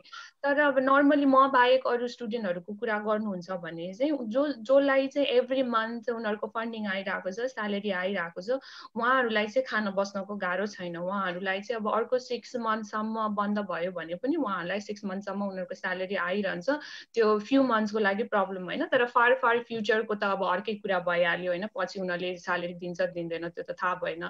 तर फ्यु मन्थ्सको लागि सेप्टेम्बर अक्टोबरसम्मको लागि चाहिँ यदि यसरी नै यो चलि नै रह्यो यसरी भने चाहिँ उहाँहरू चाहिँ सर्भाइभ गर्न सक्नुहुन्छ त्यसमा केही फरक पर्दैन। तर देयर आर फ्यु गाइज होइन कुनै कुनै स्टुडेन्ट्सहरू हुनुहुन्छ उहाँहरूलाई चाहिँ यो हाम्रो इटालियन गभर्मेन्टले ट्युसन फी वेभ गरिदिने भन्ने त्यस्तो के के चलन छ उहाँहरूको चाहिँ उहाँ त्यस्तो स्टुडेन्टहरूलाई चाहिँ अलिकति गाह्रो छ। किनभने ट्युसन वेभ मात्रै ट्युसन फी मात्रै वेभ गरिदिन्छ तर अकोमोडेसन र फुड चाहिँ उनीहरूले आफैले बिहोर्नु पर्ने हुन्छ।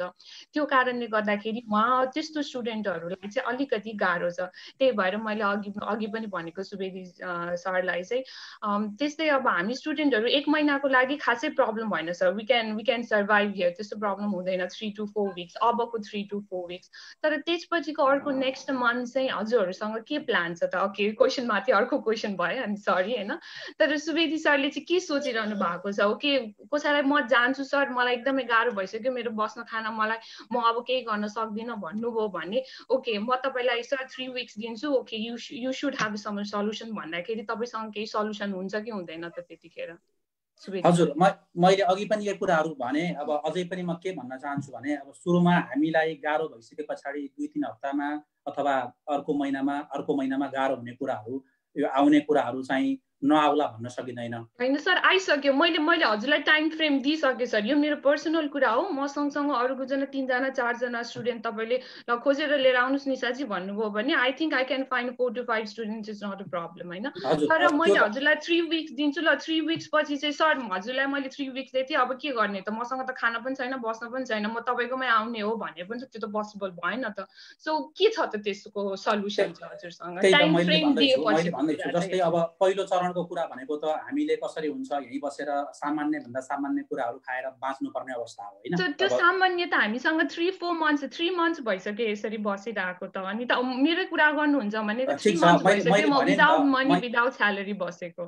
हजुर मैले के भने भने मैले यो फेजको कुरा गरेँ क्या ठिक छ। यो फेज पनि सकिएर भोलि हामीलाई गाह्रो परेको अवस्थामा चाहिँ अब दुईवटा कुराहरू हुन्छ। के हुन्छ भने एउटा इटालियन सरकारले यहाँबाट हामीलाई जान दिने अधिकार चाहियो पहिला सुरु हामीलाई होइन? किनभने एयरपोर्ट लक छ।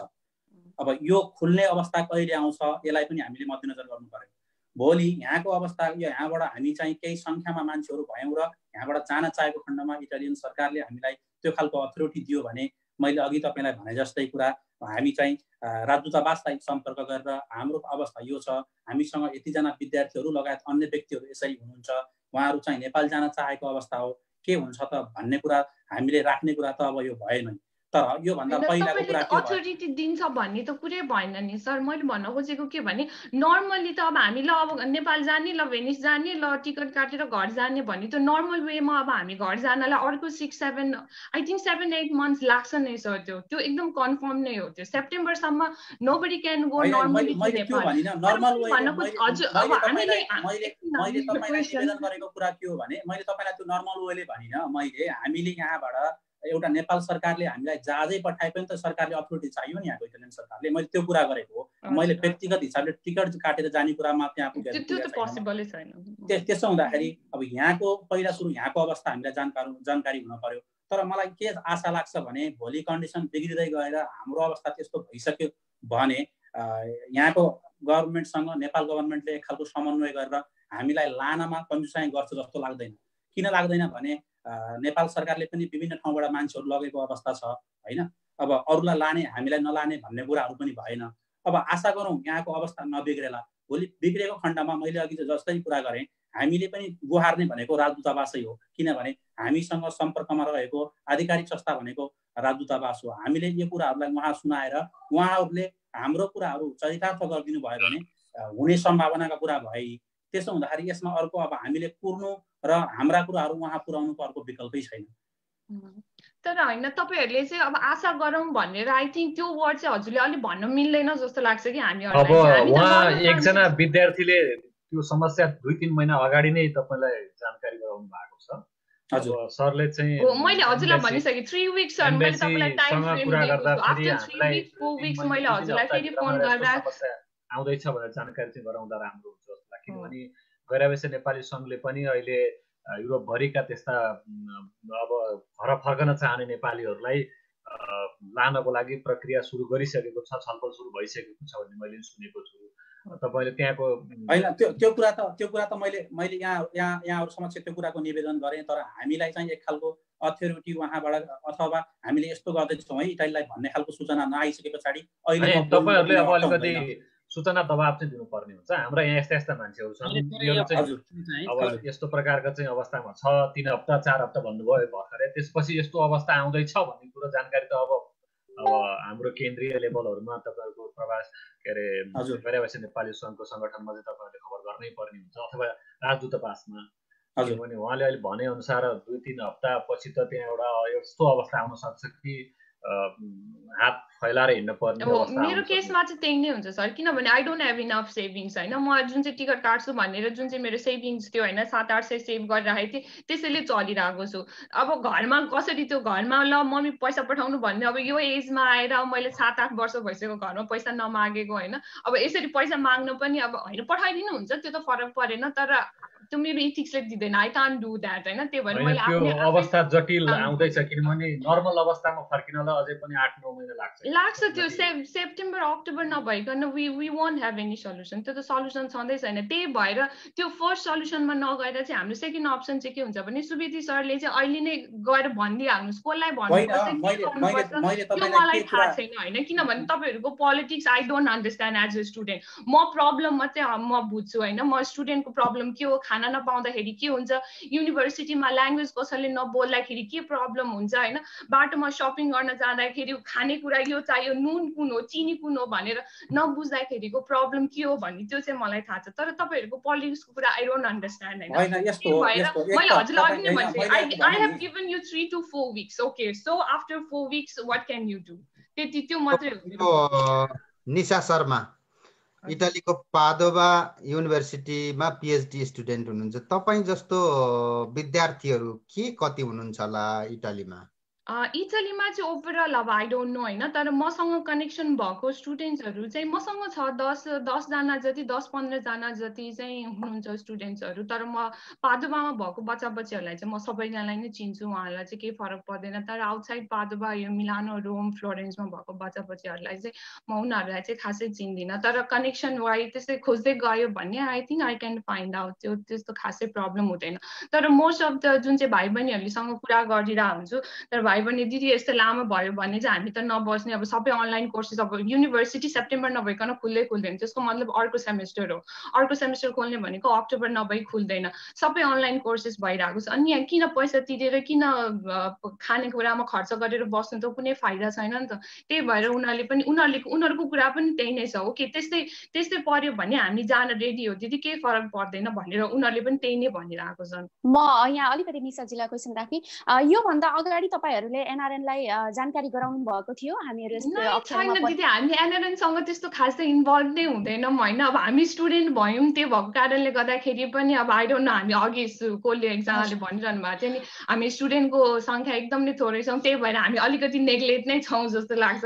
अब हामी स्टुडेन्टहरूको पनि आफ्नै प्रब्लम होला उहाँहरूले पनि हो यिनीहरू धेरै पढेर एटिट्युड देखाएको भन्नु होला उनीहरूले पनि होइन? चाहिँ खासै राम्रो एनआरएनसँग चाहिँ स्टुडेन्टहरू इटलीमा भएको अथवा पादो पादोमामा भएको भनौँ न म अब ओभरअल इटली त म जान्दिनँ होइन? तर पादोमा जोसँग मसँग कनेक्टेडहरू हुनुहुन्छ। उहाँसँग चाहिँ एनआरएनसँग त्यस्तो खासै कनेक्सन चाहिँ हुँदैन। तर कहिलेकाहीँ त्यस्तो गेट टुगेदर हुने प्रोग्रामहरू हुने चाहिँ त्यस्तो त कहिलेकाहीँ भइरहेको हुन्छ। तर त्यस्तो ओहो यो भाइ बहिनीहरू यहाँ आउनुहुन्छ के छ कसो छ भनेर चाहिँ we never I I never receive any calls from any भनेपछि तपाईँहरूले उहाँहरूलाई जानकारी गराउने आवश्यकता पनि जरुरी लागेन यहाँहरूलाई? र लागेन भन्दाखेरि पनि अब दिदी प्रब्लम त कसलाई हुँदैन र होइन सबैजनालाई प्रब्लम हुन्छ नि त न प्रब्लम नहुने भन्ने त हुँदैन बाई आवर सेल्फ होइन कहाँ गएर भन्ने कुरा पनि थाहा छैन नि त फेरि हामीहरूलाई त होइन। अब म पादोमामा हुँदाखेरि त सबैजनाले कसलाई कुरा गर्ने भन्दा त्यो दिदी छ दिदीसँग कुरा गर्ने भन्ने हुन्थ्यो होइन। तर अब म मलाई पनि थाहा छैन कोसँग कुरा गर्ने भनेर। त्यही भएर I think it's a huge gap between air के अरे अब सामाजिक संस्थाहरूको पनि विभिन्न चरणअनुसार विभिन्न सेवा सहयोग गर्ने अवस्था हुन्छ। अब सुरुमा उहाँहरूले सूचनाको आदान प्रदान गर्नुभयो त्यो आवश्यकता थियो। त्यसपछि राहतको व्यवस्था गर्नुभयो त्यो आवश्यकता थियो। अब यतिखेरको आवश्यकता यतिखेरको आवश्यकता हुनसक्छ कि कोही नेपाली फर्किन नेपाल फर्किन चाहन्छ भने उनीहरूको चाहिँ नाम सङ्कलन गरेर राजदूतावासलाई चाहिँ ल है यतिजना नेपालीहरू तुरन्त नेपाल फर्किन चाहन्छन् अथवा गैरावासी नेपाली सङ्घ केन्द्रीय समितिमा। अब त्यो सायद अहिलेको इटालीको आवश्यकता हो कि जस्तो मैले एकदम देखि नै सकिसकेको छ त्यो आवश्यक हो कि होइन होइन कि हो। नै प्रब्लम भइ नै सकेको छ त्यो यो पोइन्ट चाहिँ हाम्रो गैर आवासीय नेपाली सङ्घ इटालीका उपाध्यक्ष ज्यूले आइपी सुवेदीज्यूले चाहिँ नोटेड गर्नु होला किनभने उहाँहरूले आफ्नो समस्या बताउनु भयो भोलिको दिनमा त्यो आउनु सक्छ होइन त्यो भनेको त्यहाँ मात्रै नभएर अरू देशमा पनि धेरै समस्या छ जस्तो अब साइप्रसमा त पाँचौँ हजार विद्यार्थी हुनुहुन्छ तर अब इटालीमा पनि त्यो समस्या रहेछ। हाम्रो उपाध्यक्षज्यूले अलिकति आगामी दिनमा तत्काल हजुर। म निसाजीलाई थोरै के कुरामा निवेदन गर्छु भने हामीले विद्यार्थी इटलीमा विद्यार्थीको सङ्ख्या थोरै हुँदा हुँदै पनि हामीले सम्भव भएसम्म सबैसँग जोडिने प्रयासमा चाहिँ छौँ हामी। प्रत्यक्ष गयो गएन भन्दा पनि अब यहाँलाई म एउटा कुरा के जानकारी गराउँछु भने हाम्रो अहिलेको जुन महासचिव हुनुहुन्छ उहाँ विद्यार्थी भएर नै त्यो फिल्डबाटै हामीसँग जोडिँदै हुनुहुन्छ जोडिएर आउनु भएको छ। त्यसो हुँदा विद्यार्थीसँगको एक खालको सम्बन्ध उहाँसँग छ भन्ने कुरामा मलाई दुई मत छैन। प्रत्यक्ष उहाँको कुरा उहाँसँग नभएको फरक कुरा होला। तर भने उहाँले सोचेको जस्तै हामीले चाहिँ कसैलाई त्यस्तो वास्ता नगरेको कसैलाई सम्पर्कमा ल्याउन नचाहेको त्यस्तो चाहिँ होइन है। यहाँलाई म निवेदन गरेँ कुरा। यसैमा मैले अलिकति जोड्न चाहेँ। निसाजीले भने जस्तै उहाँले अब योभन्दा अगाडि एनआरएनलाई केही जानकारी पनि गराउनु भइन्छ भन्न खोजेको उहाँको मनसाई के बुझ्यो भनेपछि एनआरएनसँग हामी त्यति नजिक छैनौँ भने जस्तो लाग्यो। यस विषयमा चाहिँ मैले अलिकति के कुरा राखेँ भने एनआरएनले चाहिँ यहाँ त हामी लगभग पन्ध्र सय सोह्र सयको सङ्ख्यामा नेपालीहरू छौँ। त तपाईँहरूले तपाईँहरूको तर्फबाट केही त्यस्तो नेपाली समुदायमा बुझ्ने प्रयास गर्नुभयो? कसैलाई केही समस्या त्यस्तो छ कि वा कोही केही सहयोग लिन चाहन्छ कि भनेर त्यस्तो कसैसँग पनि यसो इन्टरेक्ट गर्ने प्रयास गर्नुभयो यहाँहरूले एनआरएन हजुर हामीले हामीले पहिला त्यो जुन टास्क फोर्स बनायौँ त्यसमा कुन कहाँ कहाँ कहाँ कहाँ कसरी नेपालीहरू कतिजनाको सङ्ख्यामा बस्नु भएको छ भन्ने खालको एउटा डाटा पनि तयार गरेका थियौँ। हामीले कम्तीमा पाँच घर धुरी भएको ठाउँबाट पनि एकजना त्यहाँबाट सदस्य निकालेर भोलि त्यो ठाउँमा कसैलाई समस्या पऱ्यो भने तुरुन्तै चाहिँ हामीले काम गर्न सक्छौँ भन्ने हिसाबले नै हामीले त्यो काम गरेका हौँ। अब विभिन्न संस्थामा विभिन्न संस्था मार्फत पनि हामीले सूचनाहरू प्रवाह गरेका हौँ। अब यसमा यो अब यस्तो बेलामा कस्तो हुँदो रहेछ भने प्रत्यक्ष सबैसँग सम्पर्कमा आउन गाह्रो हुँदो रहेछ। अब गाह्रो परेका व्यक्तिहरूले हामीलाई सम्पर्क गर्ने र हामीले बुझेसम्म हामीले थाहा पाएसम्म हामीले सम्पर्क गर्ने एक खालको दोहोरै सम्बन्ध हुनुपर्ने आवश्यक छ यसमा। अब यसमा सबैलाई एक खालको चाहिँ हामीले एकदमै फोन नम्बरै लिएर सम्पर्कमा आउन सक्ने अवस्था पनि रहेन अहिले। किनभने अब सबै सबैको त्यो सङ्ख्यालाई गर्न सकिँदैन। तर मैले भनिहालेँ इटलीमा रहेका जति पनि नेपालीहरू हुनुहुन्छ कोही विद्यार्थीको हैसियतमा हुनुहुन्छ कोही कामदारको हैसियतमा हुनुहुन्छ अथवा अरू कुनै कुनै क्षेत्रमा हुनुहुन्छ होला तर हामीले गाह्रो परेका व्यक्तिहरूलाई फलानु ठाउँको अथवा हाम्रो नजिकको हाम्रो टाढाको यस्तो भन्ने चाहिँ गरेका छैनौँ र यो गर्दा पनि गर्दैनौँ। यो यस्तो पवित्र संस्था मार्फत त्यो गर्न हामीलाई नैतिकताले पनि दिँदैन। आशा गरौँ मैले भनि मैले भनिहालेँ सकेसम्म त गाह्रो नपरोस् कसैलाई तर पर्ने कुरालाई सङ्केत गर्दै हामीले चाल्नुपर्ने कदमहरू हामीले चालेका भने छौँ है। हामीले एआरएन केन्द्रदेखि लिएर वाणिज्य दूतावासदेखि लिएर सबैले हाम्रो कुराहरू अपडेट गराइरहेका छौँ। हजुर अब चाहिँ यो तपाईँले चाहिँ एकदमै एकदमै गम्भीरताका साथ अध्यक्षज्यूसँग पुर्याइदिनुहोस् विद्यार्थीहरूलाई अब अबको दिनमा चाहिँ गाह्रो पर्ने अवस्था आउन सक्छ। त्यसकारण के छ व्यवस्था नेपाल फर्किनको लागि? सम्बन्धित पक्षसँग हामीले कसरी कुरा राख्नुपर्छ? किनकि इटालीबाट हाम्रो नेपाल सरकारलाई पनि धेरै पटक सहयोग गएको छ। पछिल्लो समय जतिखेर भूकम्प गयो त्यस त्यति बेला पनि इटालीबाट नेपाल सरकारलाई यहाँ बसोबास गर्ने नेपालीहरूले सहयोग गरिरहेको अवस्था अवस्था छ। भनेपछि यहाँ बस्ने नेपालीहरूलाई अप्ठ्यारो परेको अवस्थामा पनि नेपाल सरकारले त्यसरी बन्देज लगाउन पाउँदैन देश फर्किन पाउँदैनौँ भनेर त्यो त्यो विषयमा चाहिँ यहाँबाट हामीले दबाब दिन एकदमै आवश्यक र जरुरी पनि देखिन्छ। किनकि हामी यहाँ नेपालीहरूले सहयोग गरिरहेका छौँ। विदेश बसे पनि हाम्रो आफ्नो देश आफ्नो मातृभूमिलाई आवश्यक पर्दा सहयोग यहाँबाट गइरहेको अवस्थामा यहाँ बस्ने नेपालीहरूलाई पनि आवश्यक जब पीडित भएका छन् उहाँहरू आफ्नो घर फर्किन चाहनुहुन्छ भने यस्तो अवस्थामा नेपाल सरकारले हामीहरूलाई चाहिँ ओपन गर्नुपर्छ उहाँ। त्यस कारणले एनआरएन इटालीले जति सक्दो छिटो पहल गरोस् होइन सम्बन्धित पक्ष दूतावाससँग मार्फत कसरी हुन्छ? यो चाहिँ एउटा वातावरण मिलाइदिनु पर्यो। विद्यार्थीहरू को पनि यही नै चाहना छ। यस विषयमा तपाईँले चाहिँ एकदमै ध्यान दिनु होला र अध्यक्षज्यूसँग पनि बसेर तपाईँहरू एनआरएनका सबै सदस्यहरू कमिटी बसेर मिटिङ गरेर कसरी हुन्छ यस विषयमा अगाडि जान चाहिँ आवश्यक देखिन्छ। जस्तो मलाई लाग्यो है। हजुर होइन तपाईँले जति पनि कुराहरू गर्नुभयो यो यो विषयमा चाहिँ हामीले सायद एनआरएन केन्द्रलाई चाहिँ अबको सहयोग एनआरएन केन्द्रले नेपाललाई होइन बाहिर बस्नुहुने सङ्कटमा परेका व्यक्तिहरूलाई गर्नुपर्छ भन्ने खालको दबाब पनि हामीले सुरु गरिसकेको अवस्था हो। हामीले एक खालको चाहिँ निर्णय गरेर अध्यक्ष मार्फत यही कुरालाई आइसिसी सदस्यसँग निवेदन गर्दै केन्द्रमा पुऱ्याएको पनि अवस्था हो। भने पछाडि हामीले यहाँ आउन सक्ने समस्यामा हामीलाई थोरै बोध चाहिँ भइसकेको अवस्था पनि हो है। अब तपाईँहरूले कसरी बुझ्नुहुन्छ फरक कुरा भयो। तर मैले जति पनि अहिले कुराहरू गरेँ जे पनि कुराहरू मैले हाम्रो समन्वय समितिको कुरा भयो त्यसपछि दूतावाससँगको कुरा भयो जति पनि कुराहरू गरेँ यही कुराले बोध भएर नै हामीलाई यो कुरा गर्न बाध्य बनाएको हो। र हामीले चाल्नुपर्ने कदमहरू हामीले गुहार्नुपर्ने ठाउँहरू हामीले भन्न पर्ने माथिल्ला स्तरहरूका मान्छेहरूलाई भन्नुपर्ने कुराहरू सबैलाई हामीले इटलीको विषयमा जानकारी भने गराइसकेका छौँ।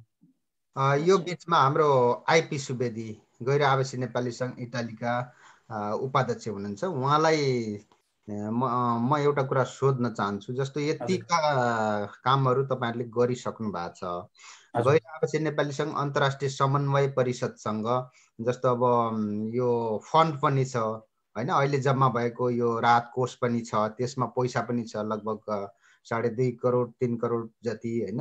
हजुर। अब जस्तो यो कोरोना पेन्डेमिक प्रारम्भ भएकै अब युरोपमा इटालीबाट यहाँ त अब यहाँ बस्ने अब हाम्रो गोमा खरेलज्यूले भन्नुभयो अनुसार चाहिँ लगभग पन्ध्र सय नेपाली हुनुहुन्छ त्यहाँ अब सुरुदेखि अहिलेसम्म त निकै नै मार परेको अवस्था हो तपाईँहरूको यो जस्तो अनुरोध आइसिसीलाई गर्दाखेरि अब व्यवस्था भएको हो कि तपाईँहरूलाई चाहिँ सहयोग गर्ने चाहिँ एउटा नियत नभएको कि के के लाग्छ? त्यस्तो समस्या कुनै छ आइसिसीसँग तपाईँहरूको? होइन होइन। अब म चाहिँ के कुराहरू यहाँहरूलाई जानकारी गराउँछु भने अब हामीले अरू अन्य अन्य देशका समन्वय परिषदले जे जे गरेका छन् त्यो हिसाबले बरु उहाँहरूले भन्दा थोरै अगाडि हामीले चाहिँ कदम सुरु गरेका हौँ। अब हामीलाई इटलीमा सङ्ख्याको हिसाबले हामी यसरी छौँ। यहाँ चाहिँ भोलि पर्न सक्ने गाह्रोको अवस्था आउन सक्ने कुरा एकदम द्रुत गतिमा आइरहेको छ। यसमा चाहिँ यहाँ तपाईँहरूले हामीलाई केही कुराहरूको निवेदन चाहिँ गर्नुपर्छ। भन्ने खालको कुराहरू हामीले गरेका छौँ। उहाँहरू सकारात्मक पनि हुनुहुन्छ। तर समस्या कहाँनिर हो भने जस्तै हामीले भनेका कुराहरू तुरुन्तै उहाँबाट पनि हामीसँग आइपुग्ने अवस्था छैन किनभने उहाँहरूले पनि अन्य देशहरूलाई हेर्नुपर्ने भएको कारणले गर्दा नै समय लाग्ने कुरा मेरो विचारमा त्यो होला। होइन भने हामीहरूको उहाँहरूसँग सम्बन्ध बिग्रेको अवस्था पनि होइन सम्बन्ध टुटेको अवस्था पनि होइन र हाम्रो सुनवाईलाई उहाँहरूले सुन्न नखोज्नु भएको अवस्था पनि होइन। आशा गरौँ हामीले जे खालको एउटा प्रस्ताव राखेका छौँ केन्द्रसँग हामीलाई केन्द्रले त्यो कुराको सम्बोधन गर्छ। चाँडो दबाब दिनु पर्यो किनभने जस्तो अब कोरोना पेन्डामिक सुरु भएको त निकै भइसक्यो इटालीमा। तर यतिका समय बित्दा चाहिँ अब गर्नुपर्ने सहयोग त इटालीलाई हो नि त्यहाँ त नेपाली छन्। पक्कै पनि अब जस्तो अहिले म बेल्जियम बस्छु बेल्जियममा चाहिँ अहिले अब सङ्क्रमित सङ्ख्या बढिरहेको छ। तर सुरुमा चाहिँ इटालीमा बढ्यो र त्यहाँ बस्ने नेपालीलाई निश्चित रूपमा असर परेको छ। कतिपय चाहिँ त्यहाँ बस्ने नेपालीहरूले मलाई फोटो पनि पठाउनु भएको थियो। अब कोठामा बसिया छ कोला खानु मन परेको छ होइन? किन्न जान सकिरहेको अवस्था छैन भने त्यो एउटा दर्दनाक हो नि त। स्थिति हो त्यस्तो अवस्थामा तपाईँ अब यो यो यो अवस्थामा चाहिँ म कसरी निवेदन गर्छु भने अब यो एउटा सीमित व्यक्तिलाई एउटा सीमित समुदायलाई र एउटा सीमित ठाउँमा बस्ने व्यक्तिहरूलाई परेको समस्या होइन यो। समग्रमा विश्वभरिलाई परेको समस्यालाई हामीले पनि अलिकति केही कुराहरूलाई तलमाथि हेर्नुपर्ने हुन्छ। अब हाम्रो जीवनशैलीलाई पनि थोरै परिवर्तन गर्नुपर्ने हुन्छ यो बेलामा। तर त्यसो गर्दैमा पनि समस्याको समाधान हुने भने होइन। तर हामीलाई हेर्नुपर्ने संस्थाहरूले हामीलाई हेर्छन् हेर्दैनन् भन्ने विषयमा चाहिँ हामी सधैँ एकदम त्रा तदारुकताका साथ। हामीले गर्नुपर्ने कुराहरू हामीले भन्नपर्ने कुराहरू हामीले सम्बोधन गर्ने कुराहरूमा हामी कतै पनि चुकेको अवस्था भने होइन। तर मैले भनिहालेँ उहाँबाट आउने जुन खालको रिप्लाई हुन्छ अन्य देशहरूलाई हेरेर हामीलाई पनि त्यसरी रिप्लाई गर्नुहुन्छ। त्यो कुरा हामी समाज आएपछि यहाँहरूलाई सबैलाई सार्वजनिक गर्ने नै छौँ। हस् धन्यवाद उहाँ। सँग पछि पनि कुरा गर्न सकिन्छ। IP Subedi vice president Italy यो अलिकति हाम्रो दुर्वासा गेलाल जो चाहिँ नयाँ हुनुहुन्छ। तपाईँले इटाली चाहिँ अब कोरोना पेन्डेमिक सुरु भए केही बेला आउनु भएको रहेछ। अब सुरुदेखि अहिलेसम्म सिलसिलेबार तपाईँले जस्तो भोग्नु परेका दुःखहरू छोटकरीमा अलिकति बताइदिनुहोस् न। के कस्तो समस्याहरू छ के कस्तो तपाईँले चाहिँ पर्सनल भोग्नु भयो होइन पर्सनल भोग्नुपर्ने कुराहरूमा चाहिँ अब जस्तै सबै साथीहरूले जानकारी गराइसक्नु नै भयो तपाईँको। अलिकति कस्तो भने तपाईँको चाहिँ अब नेपालीहरू थोरै सङ्ख्यामा थोरै सङ्ख्यामा भएको त्यसो गर्दाखेरि ओल्ला छु पल्ला छु तपाईँको अलिकति ट्राभलिङ कस्ट पनि महँगो पर्ने होइन? त्यस्तो भएको कारणले गर्दाखेरि पनि तपाईँको नेपालीहरू एकजुट नभएको अवस्था चाहिँ मैले बुझेँ नै हेर्नुहोस् होइन?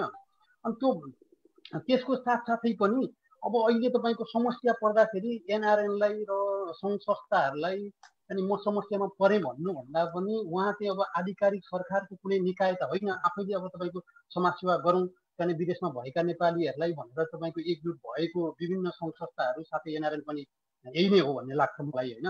सरकारबाट वा कुनै उसबाट चाहिँ अब तपाईँको पदहरू भत्ताहरू तलबहरू खाएर बसेको अवस्था चाहिँ होइन। एक खालको चाहिँ नेपालीहरूमा परेका समस्याहरूलाई चाहिँ अनि धेरै नभए पनि मलमपट्टि चाहिँ लगाउँ है भनेर अगाडि बढिरहेको अवस्था चाहिँ जग्गाएरै छ विश्वभरि नै। त्यो भएको कारणले अहिले अब म अब जस्तै अघि एकजना स्टुडेन्ट बहिनीले अब उहाँले अलि चित्कार गरे जस्तो गर्दाखेरि चाहिँ अब उहाँले त्यसो भन्दै गर्दाखेरि हामीले त तपाईँको अब उहाँले त्यो भनिराख्दा हामीले त भन्ने ठाउँै छैन। हामी त यो तपाईँको चाहिँ अब धेरै पैसा खर्च गरेर चाहिँ अब तपाईँको एउटा भनौँ न अब तपाईँको युरोप भनेर तपाईँको केही अब आशा सपनाहरू बोकेर चाहिँ तपाईँको चाहिँ फिरिएको छ अब धेरै पैसाहरू लगानी गरेर होइन। त्यो भएको कारणले गर्दाखेरि चाहिँ तपाईँको हामीलाई त झन् एकदमै गाह्रो भएको छ। यहाँ तपाईँको खानालाई अब तपाईँको साधारण एनआरएनले तपाईँको आफूले सकेको सहयोग अब जस्तै अब तपाईँको खानाको लागि अब तपाईँको पच्चिस तिस रुपियाँ दिएको अवस्थाले त यहाँ तपाईँको मेन्टेन त हुँदैन। अब कोठाको भाडा त एकदमै महँगो छ तपाईँको होइन? जस्तै मिडल इस्टतिर अन्त अन्त हेर्दाखेरि चाहिँ तपाईँको के छ भनेदेखि कम्पनीले प्रोभाइड गर्छ लगभग अकोमोडेसनहरू।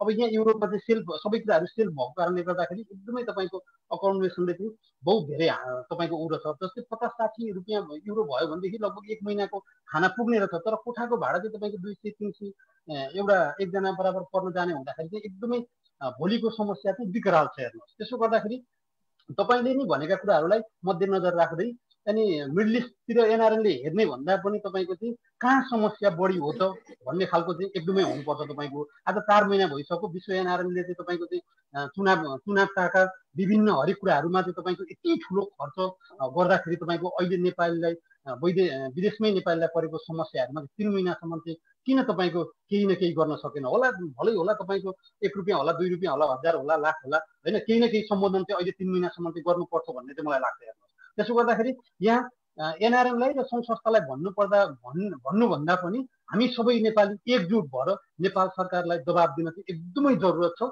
किनभने यति ठुलो अर्थतन्त्र धानेको रिमिटेन्सको हामीलाई व्यवस्था गरेकै हो। त्यो भएकोले हामीले दबाब सिर्जना जहाँबाट भए पनि तपाईँको विश्वभरि छरिएर रहेका नेपालीहरूले दबाब सिर्जना गर्नैपर्छ सरकारलाई। भोलि आउने समस्याहरू धेरै कठिनाइपूर्ण छन् किनभने धेरै नेपालीहरूको रोजगार गुमेको छ धेरै व्यवसायीहरू तपाईँको डुबिसकेका छन्। एक दिन दुई दिन बन्दले त कति कोलाहाल हुन्छ भनेदेखि तपाईँको यत्रो तपाईँको चाहिँ यत्रो महिना बन्द भइसकेको अवस्था छ। त्यो भएकोले गर्दाखेरि तत्कालै तपाईँको यसको सोल्युसन चाहिँ हामीले निकाल्नै पर्छ। त्यसमाथि प्लस म के जोड्छु भनेदेखि अब हामी नेपाली यो महामारीमा बसेर तपाईँको यति तपाईँको यो कोरोनाको कहरको यति ज्ञान भइसकेको छ हामी कसरी जोगाउँ जोग्यौँ र कसरी जोगाउन सकिन्छ भन्ने त्यो भएको कारणले गर्दाखेरि हामीलाई प्लेन पठाइदिएर सेफ ल्यान्डिङ गऱ्यो भने हामी नेपालमा हाम्रो हाम्रो घरमा एक महिनादेखि दुई महिना बस्न सक्छौँ। हामीलाई चेतना भइसकेको छ। मैले यहाँ छुनु हुँदैन। मैले यसरी जोगिएर मेरो घरमा जानुपर्छ। म घरमा गएर पनि यसरी बस्नुपर्छ भन्ने कुरा हामीसँग ज्ञान भएको छ। यो कुरा चाहिँ एनआरएस मार्फत सरकारलाई प्रष्ट हुनुपर्छ कि हामीलाई एयरपोर्ट दियोस् नेपाल सरकारले। यो कुरा चाहिँ हुनुपर्छ तपाईँको। ठिकै छ प्लेन नपठाओस् कुनै ठुलो कुरो भएन। हामी ऋण काटेर टिकट काटेर जाउँला। तर हामीलाई ठाउँ दियोस् एयरपोर्ट ठाउँ दियोस्। हामी त्यहाँबाट निस्केर सेफ ल्यान्डिङ भएर हामी कसरी बस्नुपर्छ? चौध दिन एक्काइस दिन तपाईँको तिस दिन त होइन दुई महिना पनि हामी बस्न सकिन्छ।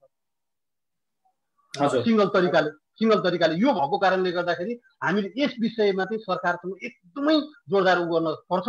अहिले एनआरएनले दिएको यो बिस तिस रुपियाँ भन्ने कुरा तपाईँको एउटा नेपालीलाई एकजुट गराउने मात्रै हो। तपाईँको उहाँहरूले सकेको सहयोग गर्नु भएको छ कोषबाट होस् आफ्नो तरिकाबाट होस् हिजो कोषमा कसको पैसा हो त एनआरएन केन्द्रले दिएको होइन सरकारले दिएको होइन आफैबाटै सङ्कलन गरेको कुरा हो। हिजो मैले के गरेँ थिएँ र आज मैले के अधिकार खोज्ने भन्ने कुरालाई पनि महसुस गर्नुपर्छ।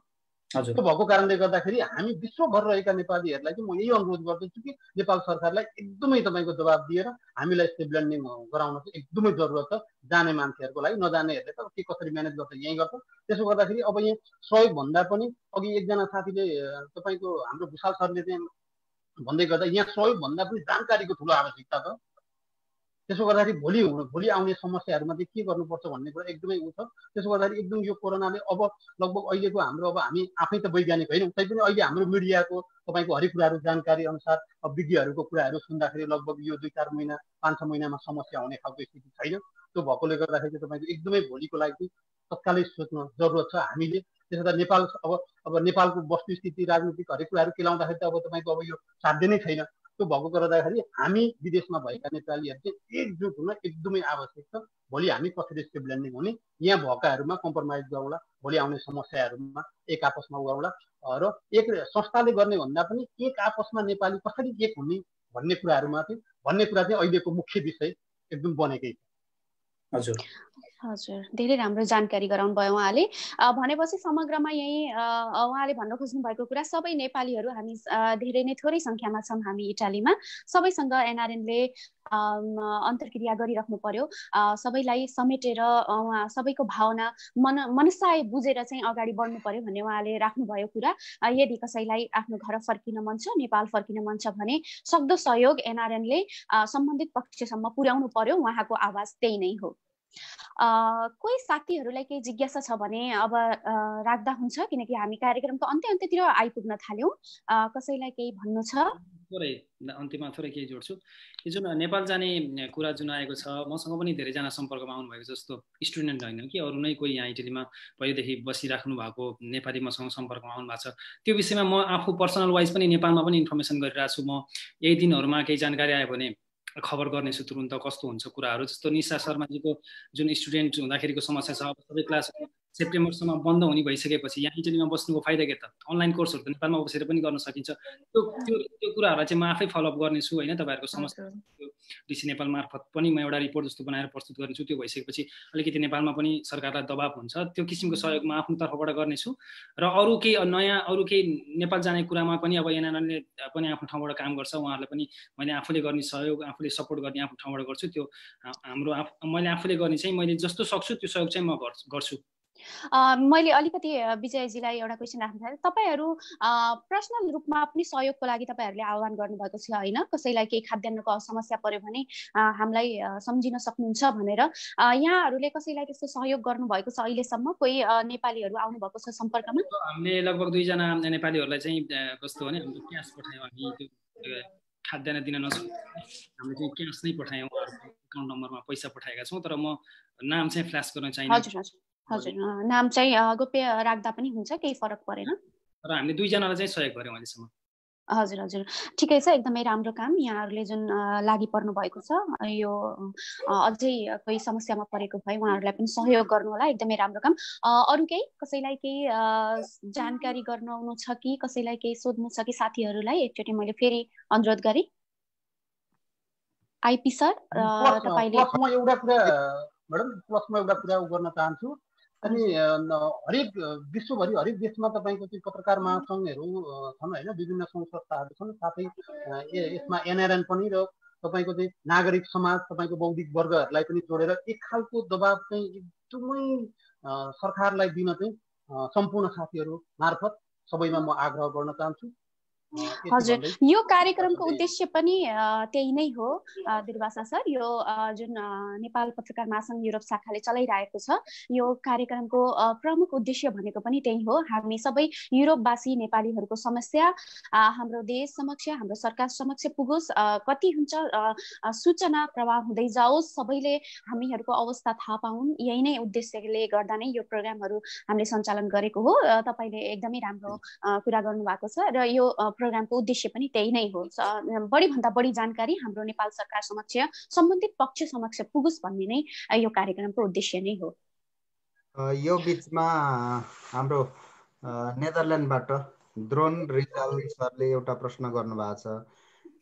इटालीमा विद्यार्थीहरूको आँकडा राख्न चाहिँ हाम्रो गैर आवासीय नेपाली सङ्घ इटालीले किन कन्जुसियाई गरेको हो भनेर आइपी सरलाई सोध्नु भएको छ। के भन्नुहुन्छ सर?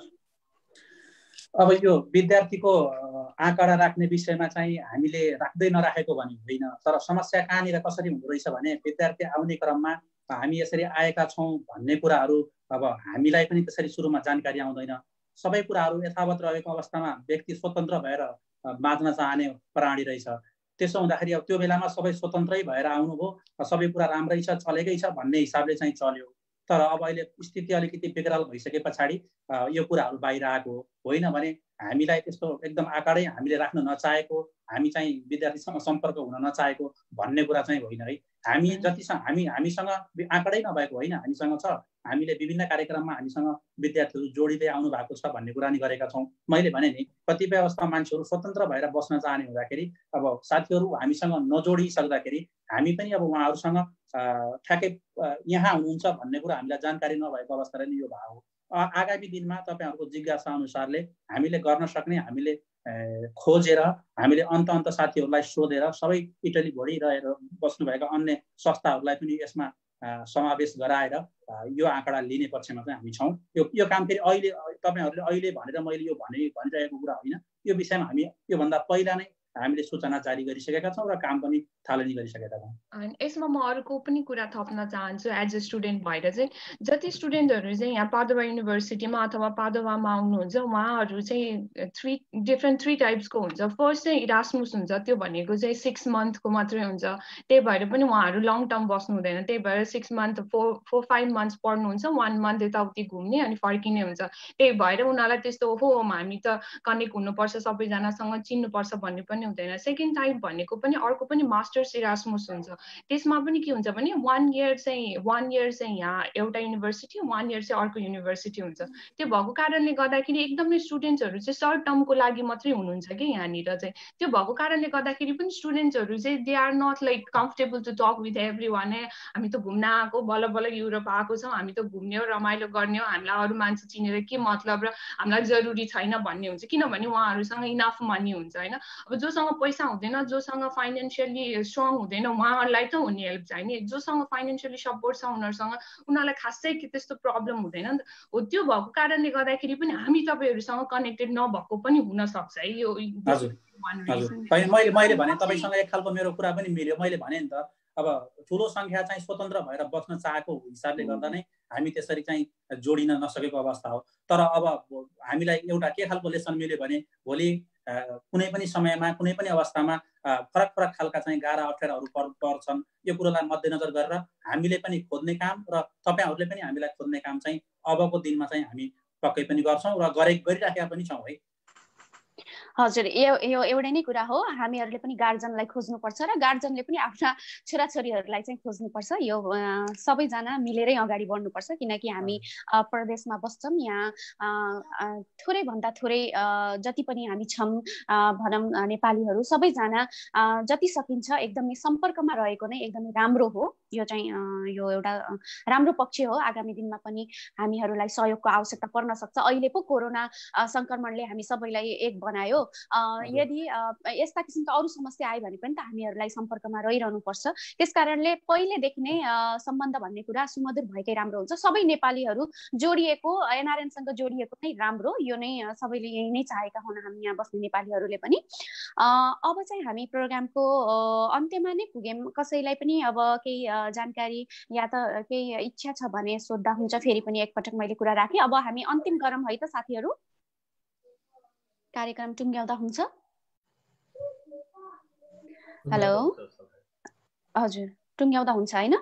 हजुर आज हामी कोरोना कहर इटाली संवाद अन्तर्क्रियामा थियौँ।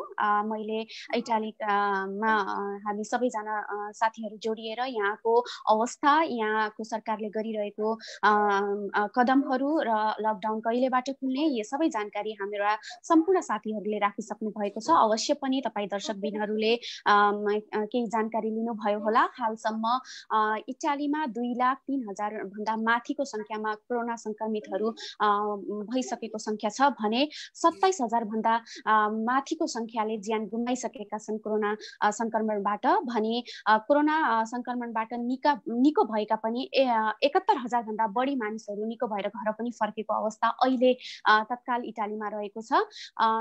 मार्चभन्दा यता अप्रेलको महिनामा दैनिक रूपमा जुन सङ्क्रमित हुने सङ्ख्या छ त्यो सङ्ख्या क्रमशः कम भएतासँगै मे चारबाट चाहिँ यहाँ इटालियन सरकारले यहाँको लकडाउन खुलाउने तयारीमा चरणबद्ध रूपमा खुलाउने तयारीमा रहेको छ। अबका दिनहरूमा यहाँ बस्ने नेपालीहरूले अझ बढी सतर्कता अप्नाउन चाहिँ जरुरी देखिन्छ। किनभने अहिले त हामी सबैजना लकडाउनमा घरमै क्वारेन्टाइनमा बसेको अवस्था छ भनेपछि भोलिका दिनमा अब खुल्यो भन्दाखेरि सबैलाई बाहिर निस्किने एउटा भनौँ न बाहिर निस्किने इच्छा हुन्छ। त्यस कारणले बाहिर निस्किँदा अब एकदमै सुरक्षाका साथ ग्लोभ्स लगाएर मास्क लगाएर सेनिटाइज युज गरेर घरबाट बाहिर जाँदा र घरबाट बाहिरबाट भित्र भित्र आउँदाखेरि पनि एकदमै सरसफाइमा बढी ध्यान दिन अहिले आवश्यक देखिन्छ। अब लकडाउन खुलेसँगै झन् बढी सतर्कता अप्नाउन जरुरी छ जस्तो मलाई लागिरहेको छ। किनकि दैनिक रूपमा अहिले पनि दुई हजार ढाई हजारको सङ्ख्यामा नयाँ सङ्क्रमितहरू देखिरहेका छन्। यो पनि एउटा आफैमा ठुलो सङ्ख्या हो तर विगतका दिनभन्दा चाहिँ यो घटेको सङ्ख्या हो दैनिकमा।